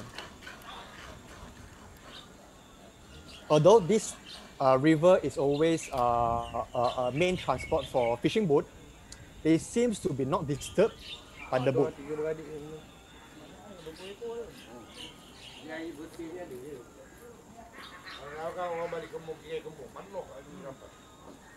And local community actually told me that they saw them eating ikan kembung.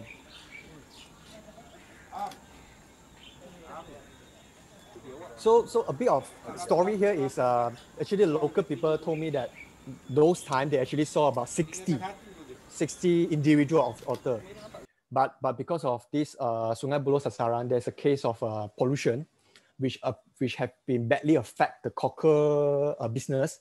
So they say after that, otters are uh, has decreased uh, in very big amount. They haven't seen a very big group, and these 20 plus otter uh, is a is a is a is a sign that they say otters is back. They they say that they haven't seen that this big group before.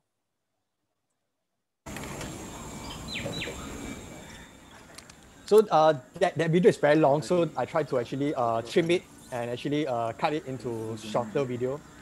So this second video uh, is showing that uh, this otter actually going back into the mangrove habitat. It's about in the evening time. Lepas tu dia suara lebih jauh dah. Dia mungkin tahu eh kita. Hmm. Mungkin dia cross. Dia lah, dia lah mak. Ha, memang power zoom. Ada juga. Ada gitu. Dia keluar. Ini air surut. So another interesting thing is from the tide level, we could determine the presence of otter. So because local people say uh, when it's high tide or low tide, the otters doesn't appear. It's only appear in between low tide and high tide.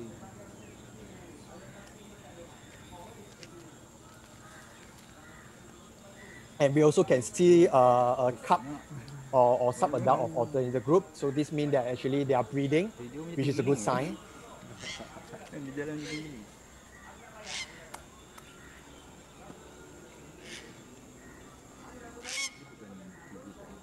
Dia kampung-kampung kan.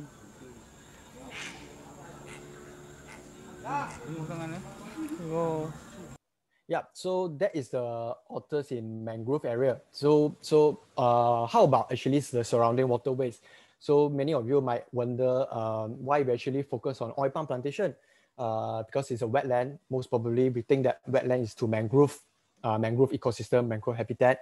Uh, but why we are doing uh, oil palm? Because otter also uh, use the surrounding waterways that surround the oil, uh, the oil palm, the aquaculture, and like smooth coated otter has been uh, documented very adaptably to urban area uh, and also uh, developed area. So we are trying to look at how this otter actually utilize the habitat of different land use type. Uh, so yes, of course, we, we, we, we document their, their distribution through latrine, to science survey, and we kind of excited because we found that there are a lot of different uh, diet into this otter species. Although latrine uh, uh, is not uh, very clearly able to tell us which species. Of course, when we look at crab, we know as Asian small claw. But when we look at the other species, like the uh, fish, uh, like the here, like the fish, we doesn't know that whether is it smooth coated or hairy nose or Eurasian because three of them actually is a big fish eater. Their main diet is mainly on fish.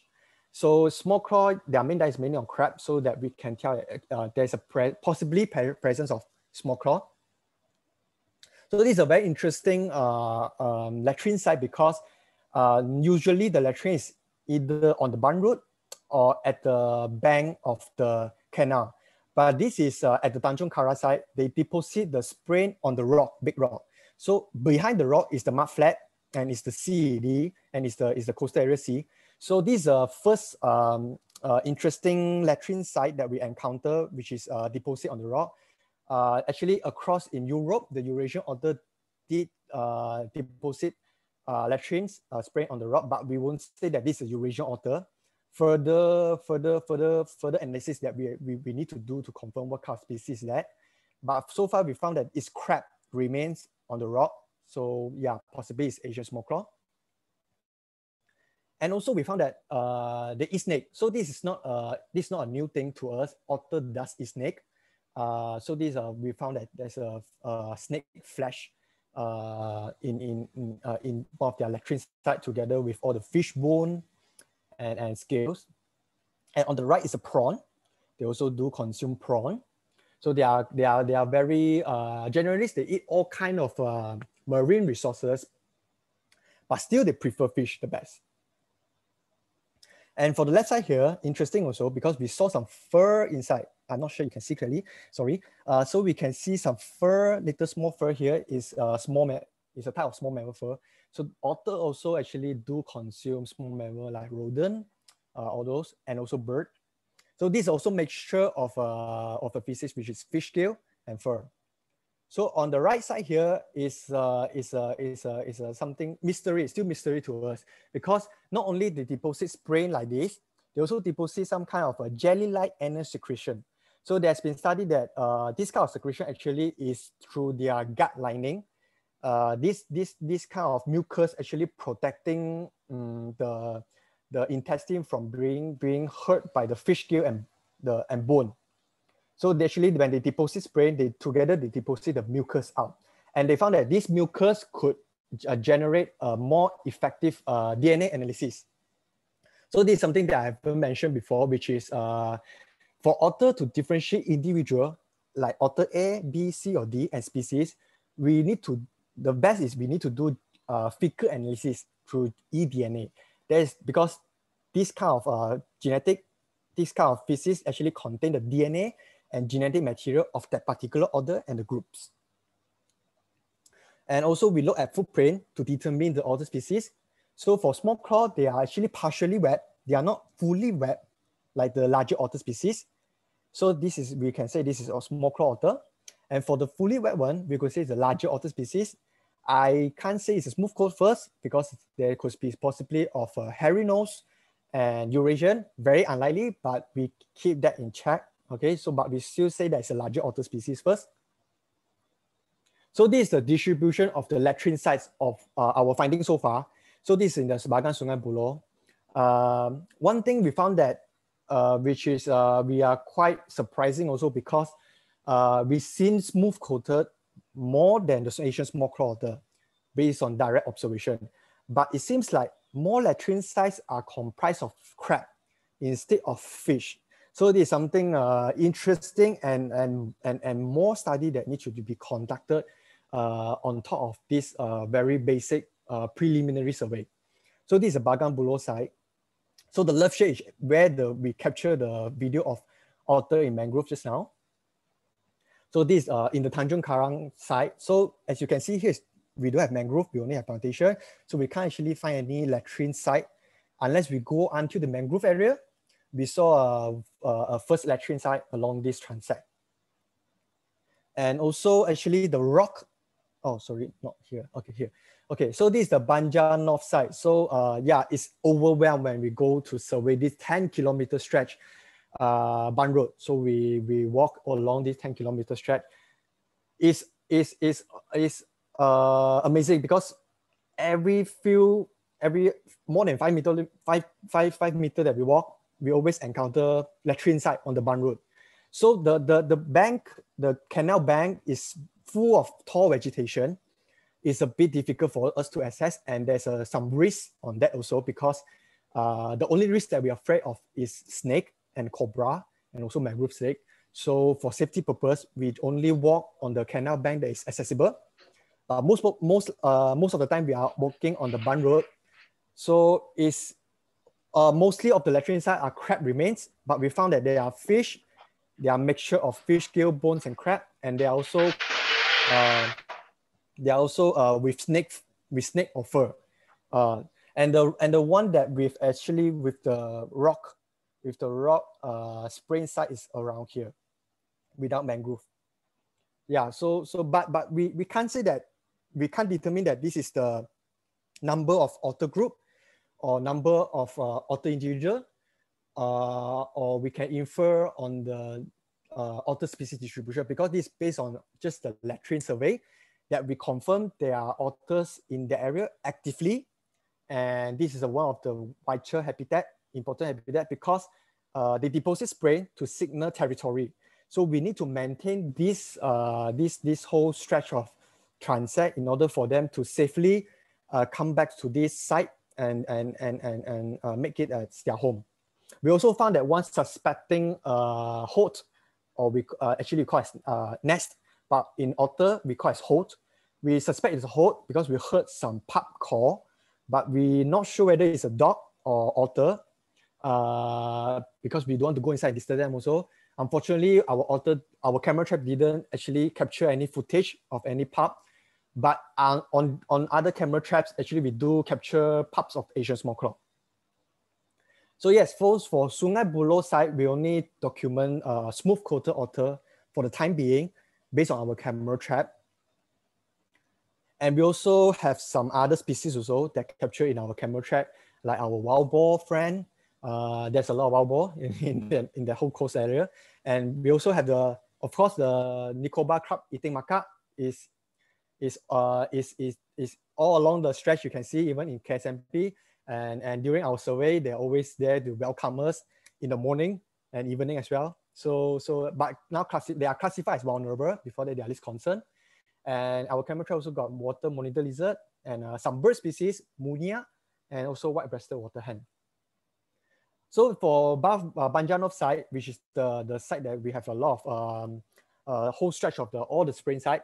So we have two species. So this is how this is how actually camera trap can help us in confirming the species on top of just looking at the latrine. But still the best is actually uh, through fecal analysis. Yeah, because there's uh, not uh, that is um, that's the non-invasive method, although camera trap is considered as non-invasive method, but it's a bit challenging to put camera trap uh, in this coastal region, which I will explain later. So we have smooth coated otter as shown on the left side, and we have also Asian small claw on the right side. So at, uh, this could actually have a pup that I didn't put in here because this is a clear picture that we have because we can see the claw, the, the digit of the, of the, of the, of the feet. I say it's a small claw. Yeah, so we have small claw and smooth coated. And also uh, we document other species. So far, we have a common palm civet on the left, and we have, we have also leopard cat on the right. Uh, but there are few picture on this cat species that uh, I'm still uh, trying to identify because we are we are cautious that uh, not to wrongly identify. Although that fishing cat is not documented in Peninsular Malaysia, uh, but I will keep that in mind. Maybe that is some new finding that we can find. But so far, what we have seen is a leopard cat. Yeah. So not only we do distribution survey, uh, looking at the latrine and also camera trap, we also actually talk to the local communities uh, how is our knowledge and perception on otter in oil palm plantation. So this is where we actually do interview survey and we approach the plantation owner.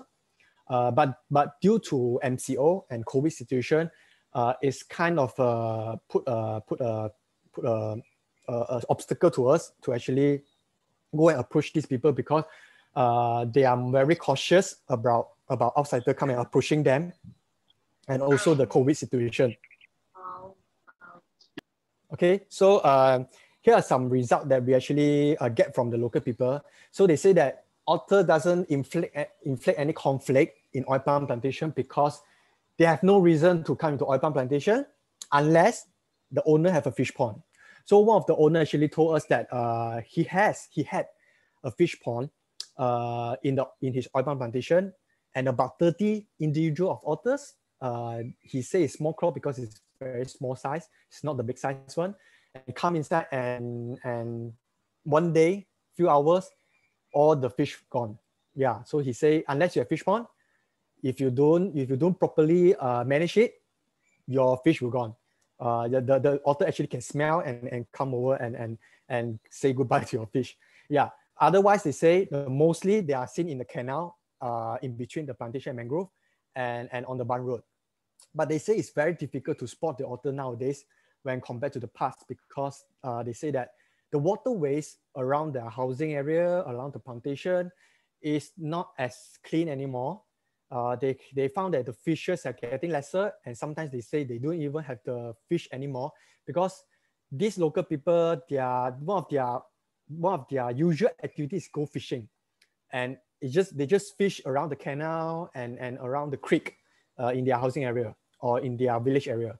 So they say they can't fish anymore because, because they say they can't find any fish. So they say that's why they, they don't see any otters nowadays and it's very, very difficult. So they say the only place to see otter is at the jetty, uh, which is just now we saw the otter video or, or at the coastal region of mangrove forest. Yeah, so that's why uh, that's why actually the local people here, they have a perception and appreciation of otter because they told me one sentence. So you, this is a Malay. So they say di mana ada memerang, situlah ada ikan. So in English means uh, where where you can find the otters, that is where you can find the fish. So uh, in Malay, we find we will say rezeki. So you will find uh, you will find a lot of uh, marine resources over there. So they say they won't actually kill, uh, they won't actually injure or hurt the otter because otter is a indicator species to them, and it's kind of a signal for them where to find the fish. But also um, throughout this uh, few months project, we also try to document as much threats as, as we can uh, around oil palm plantation.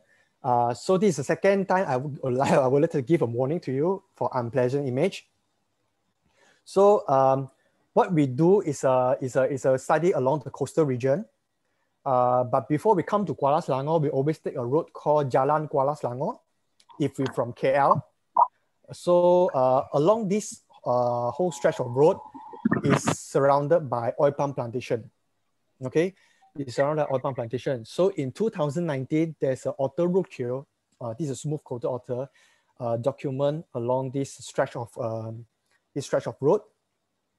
And in 2020, last year November, I did. Uh, I also found that two otter species. Uh, uh, sorry, two otter individual found at the roadkill. Uh, found as roadkill also uh, but it's different, different, different point along the road. Okay, so uh, unfortunately, this one, the head is crushed, and when I found the carcass is already uh, bloated. It has been died for quite some time, so sadly we are unable to identify the other species. Um, but for this is a, um, this is not far from each other, so they most likely is a is a is a is a, is a group, two of them. Uh, but this one is more like a smaller size, uh, uh, some kind of sub-adult, I would say. So probably it's a mother and a, and a baby. Uh, not we can't confirm yet because the, the carcass is really crushed, so we can't really identify. Uh, so this is the road that we can uh, that that that where this uh, roadkill found. So uh, the, a concrete has been built in between uh, the road for the left and the right. So along the plantation, there are waterways, there are creek or canal. So uh, most likely, actually, the otter, uh, actually, the otter roam around the plantation area through this creek and and and and canal. Sometimes they do need to cross the boundary to uh, to cross the the road because uh, otter has a very large home range also. So for for the smooth coated otter, there has been documented home range with a home range size of uh, 16 kilometer uh, uh, uh, as a linear home range. Yeah, so in, in, in European side, Eurasian otter has been documented with also about, if I'm not mistaken, 20 kilometer or more as a linear home range. So they, they roam a, they roam in a large area. So they might want to cross, but they found that there's a concrete there. So they might actually cross back and just hit by car. And another threat is also we found that in oil palm plantation, we often found that the, the canal and the creek in the plantation is clogged and and and uh, I won't say it's polluted because I think uh, if we want to say the pollution, we need to do some chemical analysis to see what kind of pollute, polluting level in the in, in the in the in the waterways inside oil palm plantation. Uh, but of course, plantation, uh, yeah. So so they told us, of course, they use uh, pesticide uh, because uh, to kill the weed in order to prevent the snake. Uh, but but this is something that we document along the project, and we try to find ways to actually how we can actually engage with the uh, smallholders and also engage with the uh, authorities and on how we actually uh, make it a, a happy uh, a habitat that can actually otters can roam around. So yes, challenges faced uh, from this project, of course, like I say, uh, camera trap is a challenge when we actually put up camera traps in uh, around coastal area because the whole coastal area is uh, urbanized area. Uh, uh, people uh, can just just just go around and walk on the bund road with motor or car. Uh, so this is one of the camera trap that we set up, but unfortunately, someone actually uh, take it out and throw in the river. Okay, there's one also there's one camera trap also been stolen. Uh, so this is the challenges faced when we actually put our camera traps when we are having when we put our camera traps in an urbanized area. Um, so, so that's why uh, figure analysis come in very handy uh, when we do uh, otter survey. And most of the smallholders are not staying around their plantation. So this is difficult in actually contacting them and engaging them. And of, quite often we only engage a few smallholders that they are fortunate to stay in the plantation also. Yeah. So that's uh, basically the end of uh, presentation one or element one of my pre uh, preliminary findings uh, on this pro project. So uh, now I proceed uh, to the next section, which is the workshop section. So this is a workshop section which I would like to share. A moment.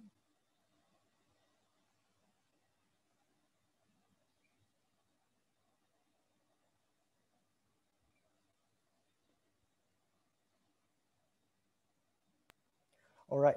So um, we did this to the local community also. So we are fortunate that we have local people actually now, the, the oil palm plantation owner that we approach, they express their interest in our otter conservation and they are willing to involve. So they're actually listening to our workshop now.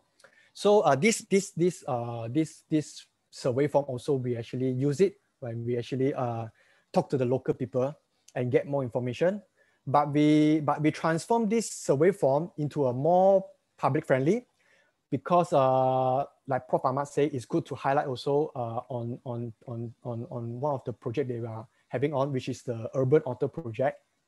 So we have received tremendous amount of otter sightings around the urban area of KL and Selangor. Uh, so so we, we, will, we, will, we will think that uh, coming out with this form so that public people can actually uh, easily download this form or, or and you can actually jot down all the sightings, auto sightings uh, if you have, and then you can contribute and send it back to us. So this is the workshop that we were going to conduct is to actually explain this form very thoroughly uh, to everyone. Uh, yeah, so this is a sighting form and also a conflict, otter human conflict form. So bear in mind, if you think that you have just sighting information, you still can use this form there's one section that you can actually ignore. Or if you have conflict, uh, animal conflict uh, issue, it will be a good form for you to actually fill it out. Or you actually have friends who have this kind of information, uh, please do fill it up also. So basically we need uh, your name, not compulsory, you can put anonymous, okay? Uh, we need to know your sex and, and also your age, um, so education level is more on the local people, so not necessarily you have to fill in. And how long you have been staying around the area. Okay, so we want to see uh, how long you have to be staying and uh, correlate back to how, how frequent have you been sighted the otters around your area. So this is the first part A, is the first basic information about yourself to let us know about you. And for part B is about your knowledge about the place where you have sighted the otter or the place that you have uh, experienced otter-human conflict. So uh, uh, appreciate if you can give us your address and also what kind of habitat that you have sighted the otter. Because not only we have uh, otter sightings around the urban area, but we also have sightings of otters uh, in, in other parts of area like forests, uh, coastal areas, and, and, and yeah, all around Malaysia, which public people has been uh, very kind to actually contribute the information to MNS here. Yeah because we uh, we are the only we are the only NGO actually collecting this information uh, to uh, with Perhilitan also they are collecting the information on uh, otter human conflict. So we are we actually we are we are want to assist Perhilitan to collect more information to get them more hand into this. So these are these are these are few uh, habitat that we list down. So feel free to let us know what kind of habitat that you cite the otter. And for part C is how much you know about otter. Because otter is a bit hard to difficult to actually uh, identify uh, if you have sighted uh, just using by bino uh, or just a glimpse. So, so with picture is easier that you can see all the marking, everything, all the, all the features. So we provide uh, pictures of each species for you to refer if you are in the field. Uh, hopefully it helps, yeah. And also description uh, this description that I try to compile and, and try to um, uh, generate out to for easier understanding for the local people and also for the public. And here's move code. And for small claw, it's more like a cat-sized species and it's small with a shorter tail, smaller head. Yeah. And for hairy nose, of course, like I said just now, is uh, because it's a distinctive feature of the white color lips uh, and throat. So here is the here's the marking. And also for Eurasian otter, uh, so for um, Eurasian otter is uh, is, uh, is has not been sighted in Peninsula for very very long time. So we're still unsure whether is it still present or not in Malaysia. But fortunately in Sabah, if I'm not mistaken, in 20s, uh, I'm not sure which year, 2010 or 20, 2006, uh, there's a Eurasian otter sighted in, in, in Danum Valley, if I'm not mistaken.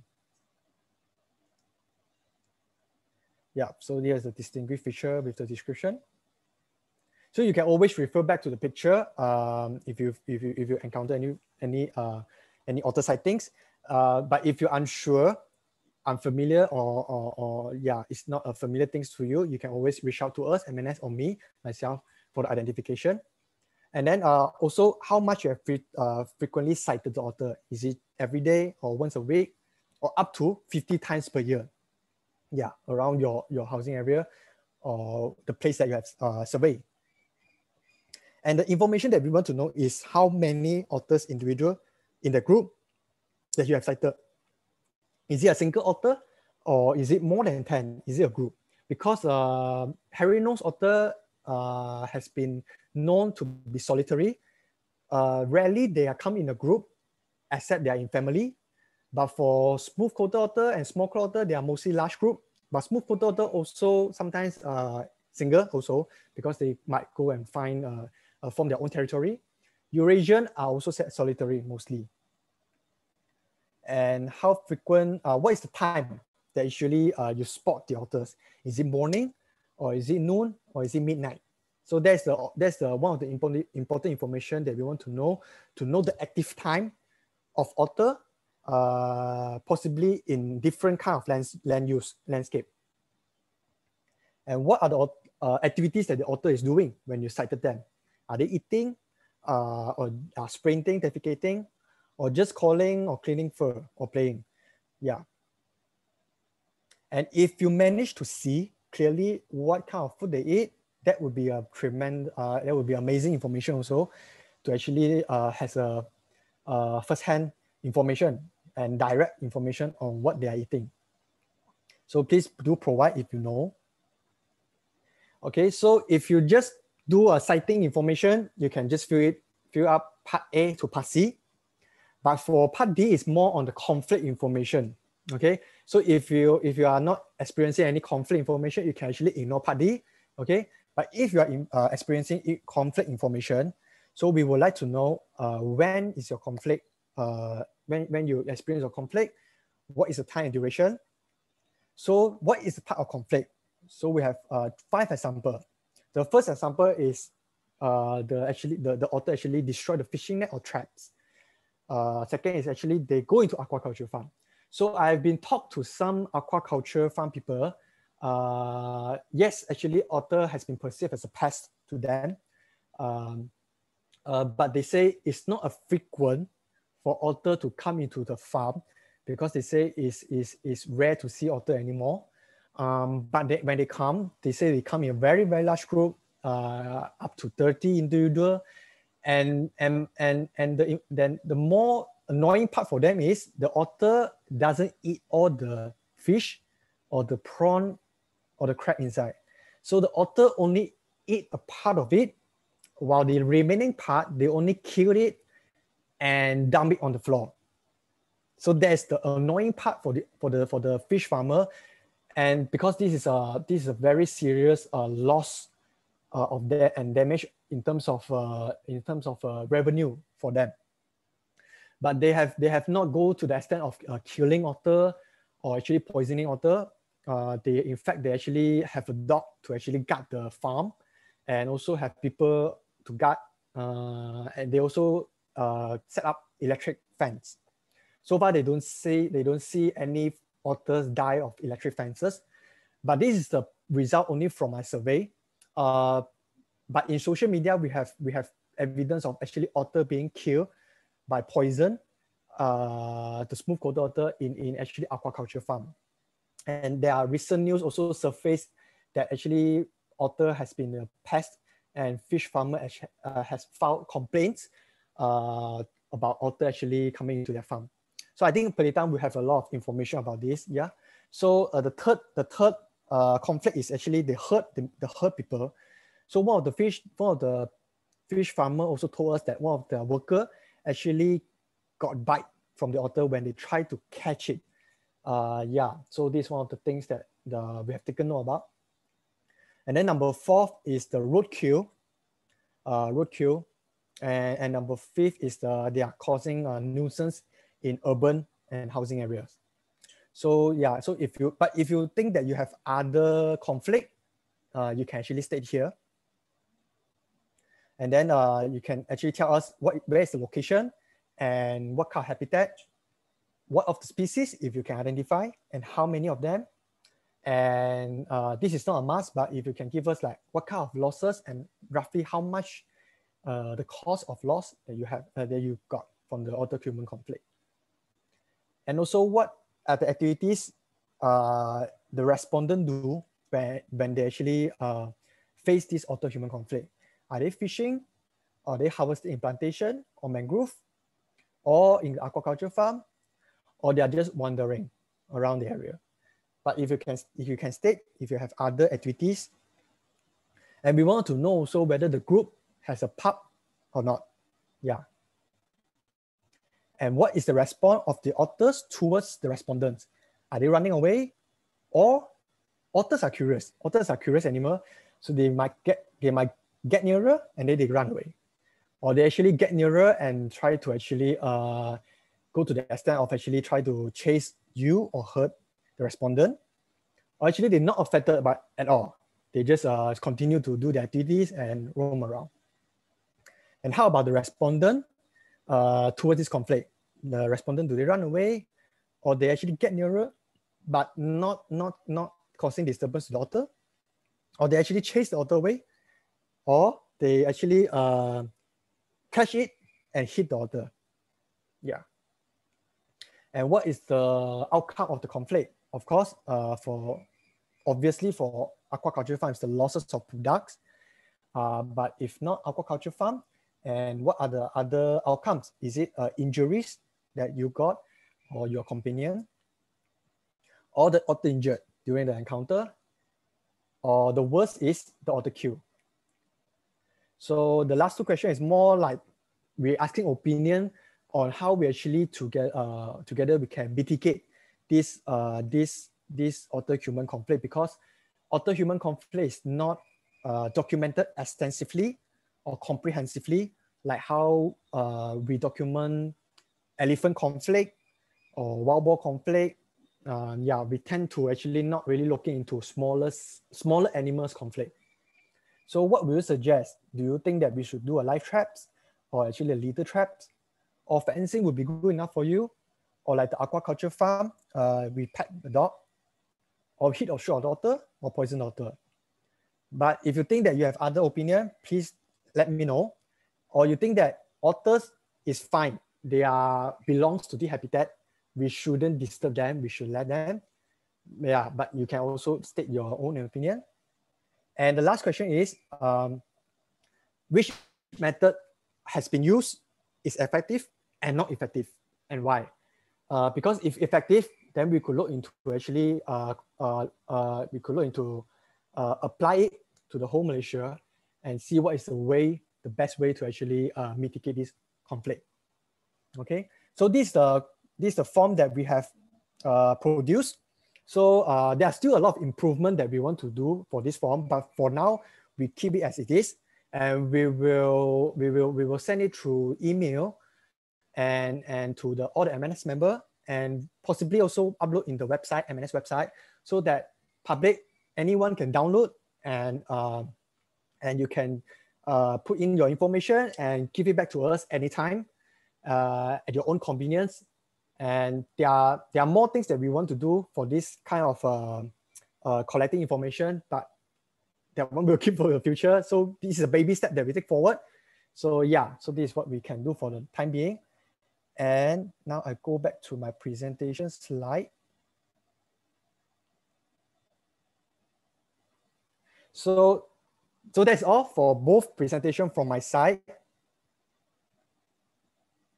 Can you all see my screen? Sorry. Hi, Yong. We are yeah. seeing your slide with the word workshop. Okay, good. Okay, great. Okay, so take home message. Uh, yeah, small animals' life matter too. So uh, quite often, especially in Southeast Asia, uh, most of our efforts actually put into larger size animals, um, which is something that more people know and more appear to the people. But we tend to uh, we tend to have the mindset of we're protecting the large animal, we kind of protecting the smaller size animal. But that that sometimes doesn't actually uh, uh, that sometimes doesn't work, sometimes doesn't work uh, because we have macro habitat, we have micro habitat as well. So not, not to take granted of the small animals' life, like the hairy nose is the rarest otter species in the world. Um, is, is having a global attention uh, and, and the least known otter species. So having hairy nose in Malaysia still existing is a, is a good news, but how many of them is a question? And we don't really know. And it's a difficult question to answer as well. But yeah, we don't really know how much well they do, or they actually just like our tiger. So, and we need everyone. So the form created is for everyone to contribute. So conservation is just not uh, conservation organization or government authorities can, can, can do. Anyone can do, citizen science can do. I think most of the, most of the audiences are public and corporate, like MSIG. Uh, so it's, it's, is we need corporate we need corporate side we need um, public to be be first together and last we have to ask ourselves how proud are we on malaysia being the rank 12th in the world mega, mega diverse countries? So all these animal all this biodiversity and plants that make up malaysia to rank 12 in the world mega diverse country. So uh, how proud we are determine how how how how how much extent that we want to protect it.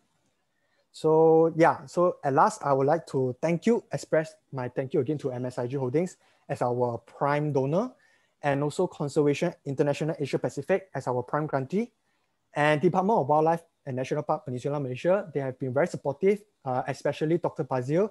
Uh, unfortunately, he's uh, didn't uh, he, he's not able to attend this um, uh, workshop. So he's part of more member and he's uh, he's one of the pioneer uh, otter, otter research in Malaysia also with Prof. Shukor and also Dr. Hiroshi Sasaki is inside here.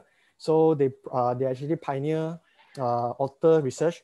And also KSNP, I would like to uh, express thank you for KSNP uh, for, the, for the support in terms of accommodation and also uh, manpower and local people who continue to become our eyes and ears. Yeah. And so feel free to contact us uh, this is my email and contact. Any regard, any things regarding author, uh, otter matters. And thank you for your time and learning about otters. I hope everyone learned something uh, from this workshop and, and able to contribute and spread the word. We need more people. And good day, everyone, and have orderly days ahead, like the otters in this group. So they are sleeping very comfort, comfortably. Thank you so much.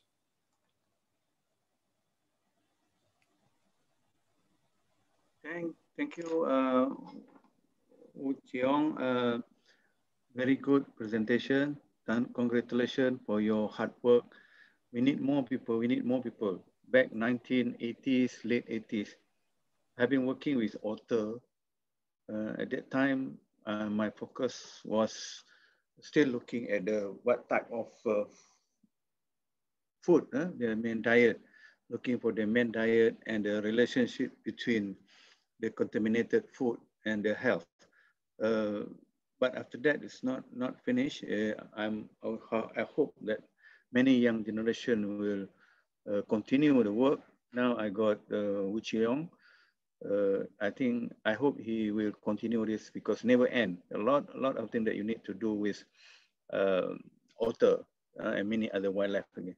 Um, thank you for the participant for many questions that maybe uh, cannot entertain all uh, I propose, uh, Tiong, eh, we have to have one uh, at the at the we have a website on Otter, but at the same time we have to put one page at the MNS main website so that people can respond. Uh, you can link to your website also, MON, um, respond to what they see, uh, uh, where they see the authors, what type, pictures and so on, because uh, we are looking at more public involvement in this. Say, for example, we have been talking about roadkill. We're uh, talking about uh, public response to uh, to otters disturbing their fish farm, uh, prawn farm, and so on. So this is uh, uh, public involvement uh, needed. And then when we talk about conservation, it's not from Perhilitan, it's not from uh, MNS, but, but uh, from all. MNS is just a media to promote uh, people at all level to support uh, MNS, uh, whatever conservation, uh, wildlife conservation, habitat conservation. As you know, we have many activities. Uh, Chiong mentioned just now, he started um, his interest in water after doing this coastal bird observation. Every year we have AWC, uh, Asian Water Bird Census. Uh, for last 10, more than 10 years, uh, we recruit people, we bring people together, and from there we develop many uh, interest group, uh, SIG special interest group, uh, like Otter Group. So this is a, beauty of MNS. And if you are strong, let you form your own group your specialist group. Uh, of course, MNS will support all those activities. And um, we want the aim of our uh, our activities is to make sure all wildlife are well protected, well conserved, and then the habitat are well managed. So how to do it?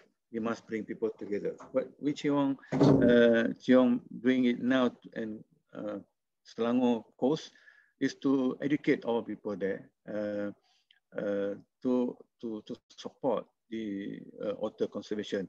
And then um, with our finding on the hairy nose uh, otter is something that interesting that we need to highlight uh, that how uh, this uh, rare animal need to be protected. People don't know this. We need to highlight more.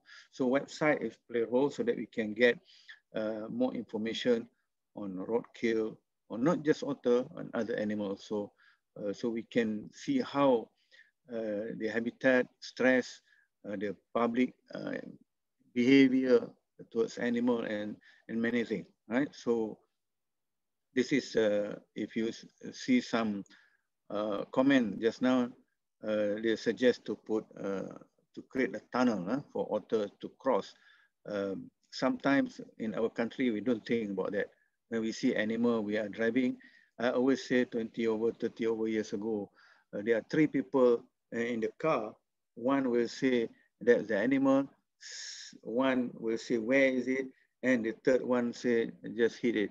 So the, the conservation is still low, uh, spirit of conservation is still low at that time. But now the awareness is there, but we need more action. Right? So I hope by creating a good website, then we will uh, get more information from the public, and then we will work together for this uh, uh, conservation program. So people are keep living now because uh, nearly uh, 11.30. Uh, I think, should we continue or we close here? Which, we, uh, I think I think we can continue. So close, yeah.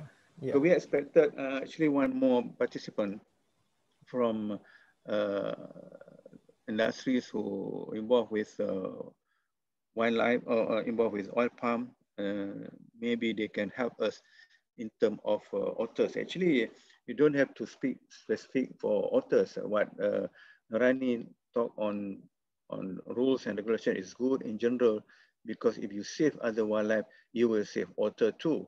If we protect uh, riparian a buffer zone, for example, we will protect otter and other wildlife too. So this is uh, something that uh, we need to look. There are many private sectors is coming in to, to support. Actually, uh, since last 10 years, I'm involved with MNS directly. I found many uh, companies, uh, especially small companies, eh, they, they like wildlife, they like the protection, they like nature, but they don't know how to contribute. So that's why MNS is very lucky. We got a small, small grant uh, to uh, on special project. Uh, I don't have to mention all the companies, but what we see today, uh, MSIG is one of the company that can support, say they choose otter, you can be champion in otters if, if you like. You can choose any animal because no uh, specific company that sponsor all out. Uh, even Maybank, their logo is tiger. Uh, they don't really 100% support tigers. Many agencies are supporting together with Maybank, for example, on conservation and protection of tigers. The same thing with otters you know, we, we uh, MSIG maybe can champion in this. Uh, coastal Selangor can be uh, as a site that we are highlighting this, uh, not because just otter, but the main thing is they are at the important flyway from uh, East Asian fly, uh, East Asian uh, Australia flyway, which is one of the important stopover birds flying south and north during uh, their migration. Uh, West Coast West uh, uh, Selangor, coastal Selangor is very, very important to protect and conserve. So we need more people to come forward together with MNS. And Malaysia has signed the agreement, partnership with uh, EFP uh, in 2012. Uh, and part of our commitment is to protect uh, this uh, EFF East Asian uh, flyway or these flyways, all the stopover identified, for example, from Timah Tasoh down south to uh, uh, Air Tawar, and then Kuala Gula, uh, then down to all Selangor coastline, Johor, Tanjung Piai. So this is the area that we need to protect as our commitment uh, uh, in our EFFP.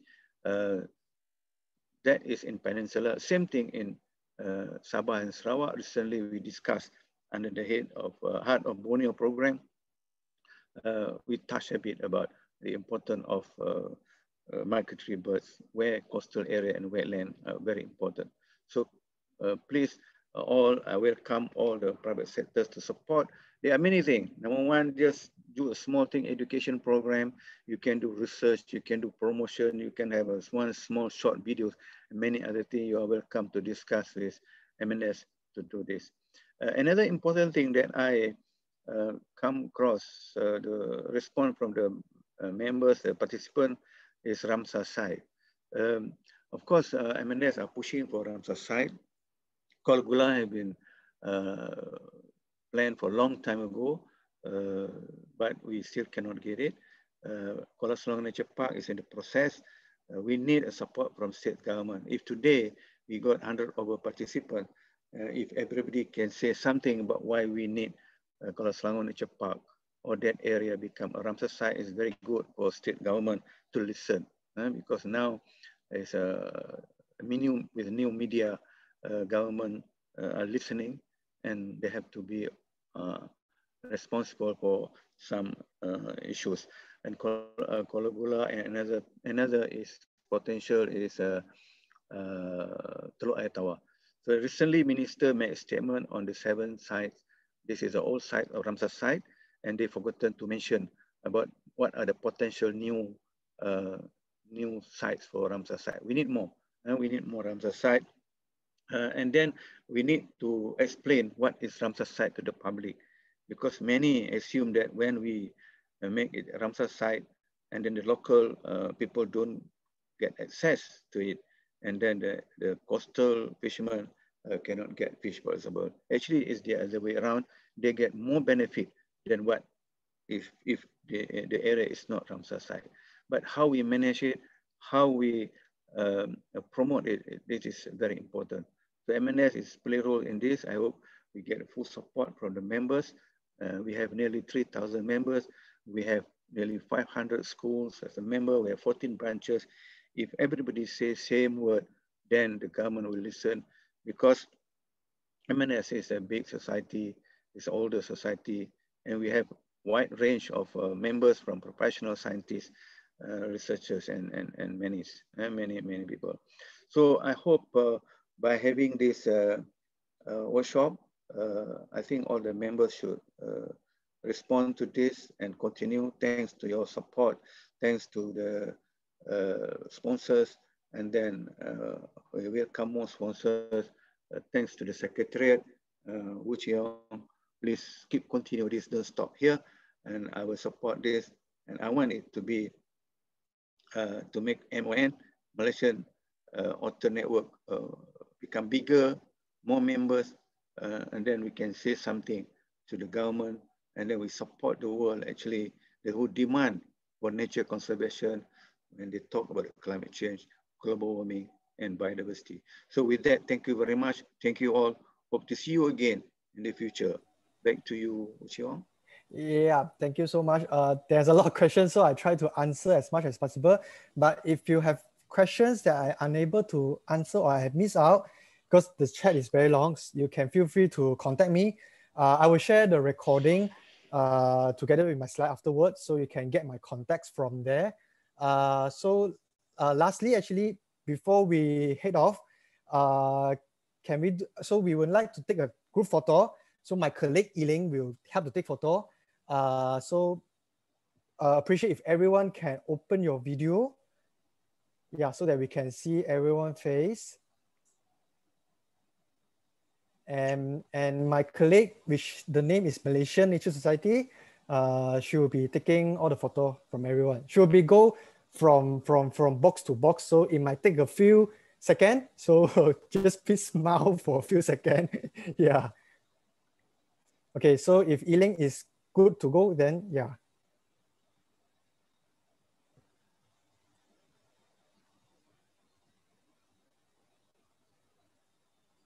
Okay, Yiling say hold on.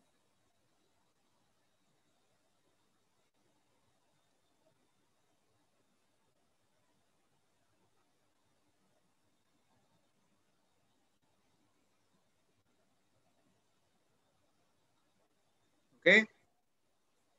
Yiling or still hold on. I think because Still of we on, have okay. yeah because we have hundred Yeah, participants. glasses, so-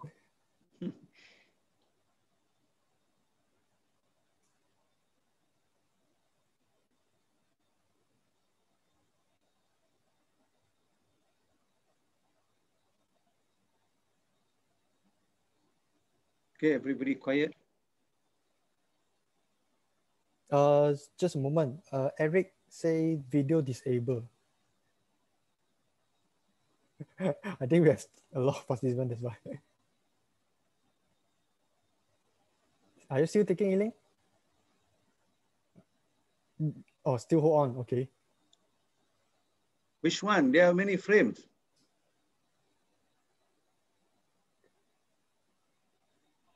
Thank you all. I have done uh, all the snapshot. So um, hopefully you enjoyed the talk today. And uh, back to Young. All right. Uh, so I have nothing much. So uh, stay safe and yeah, Chinese, Chinese New Year is coming. So I think uh, MNS and myself here would like to wish everyone happy Chinese New Year. 恭喜发财 and stay safe and eat well. Yeah. So I think that's all from everyone. Thank you for coming to the workshop. We will have Okay, more Only exciting. Stay safe. Yeah. We will have more exciting otter activities Yeah. coming up. So stay tuned to MNS. Thank you, everyone. Thank you, everybody. Bye-bye. Have a good weekend. Thank you. Bye bye. Thank you. Bye bye. Thank you, Bye-bye. Thank you. Thank you. Bye. You. Uh, Jumpa bye. lagi.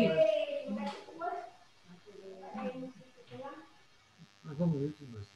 thanks. Bye. Thanks. Thanks.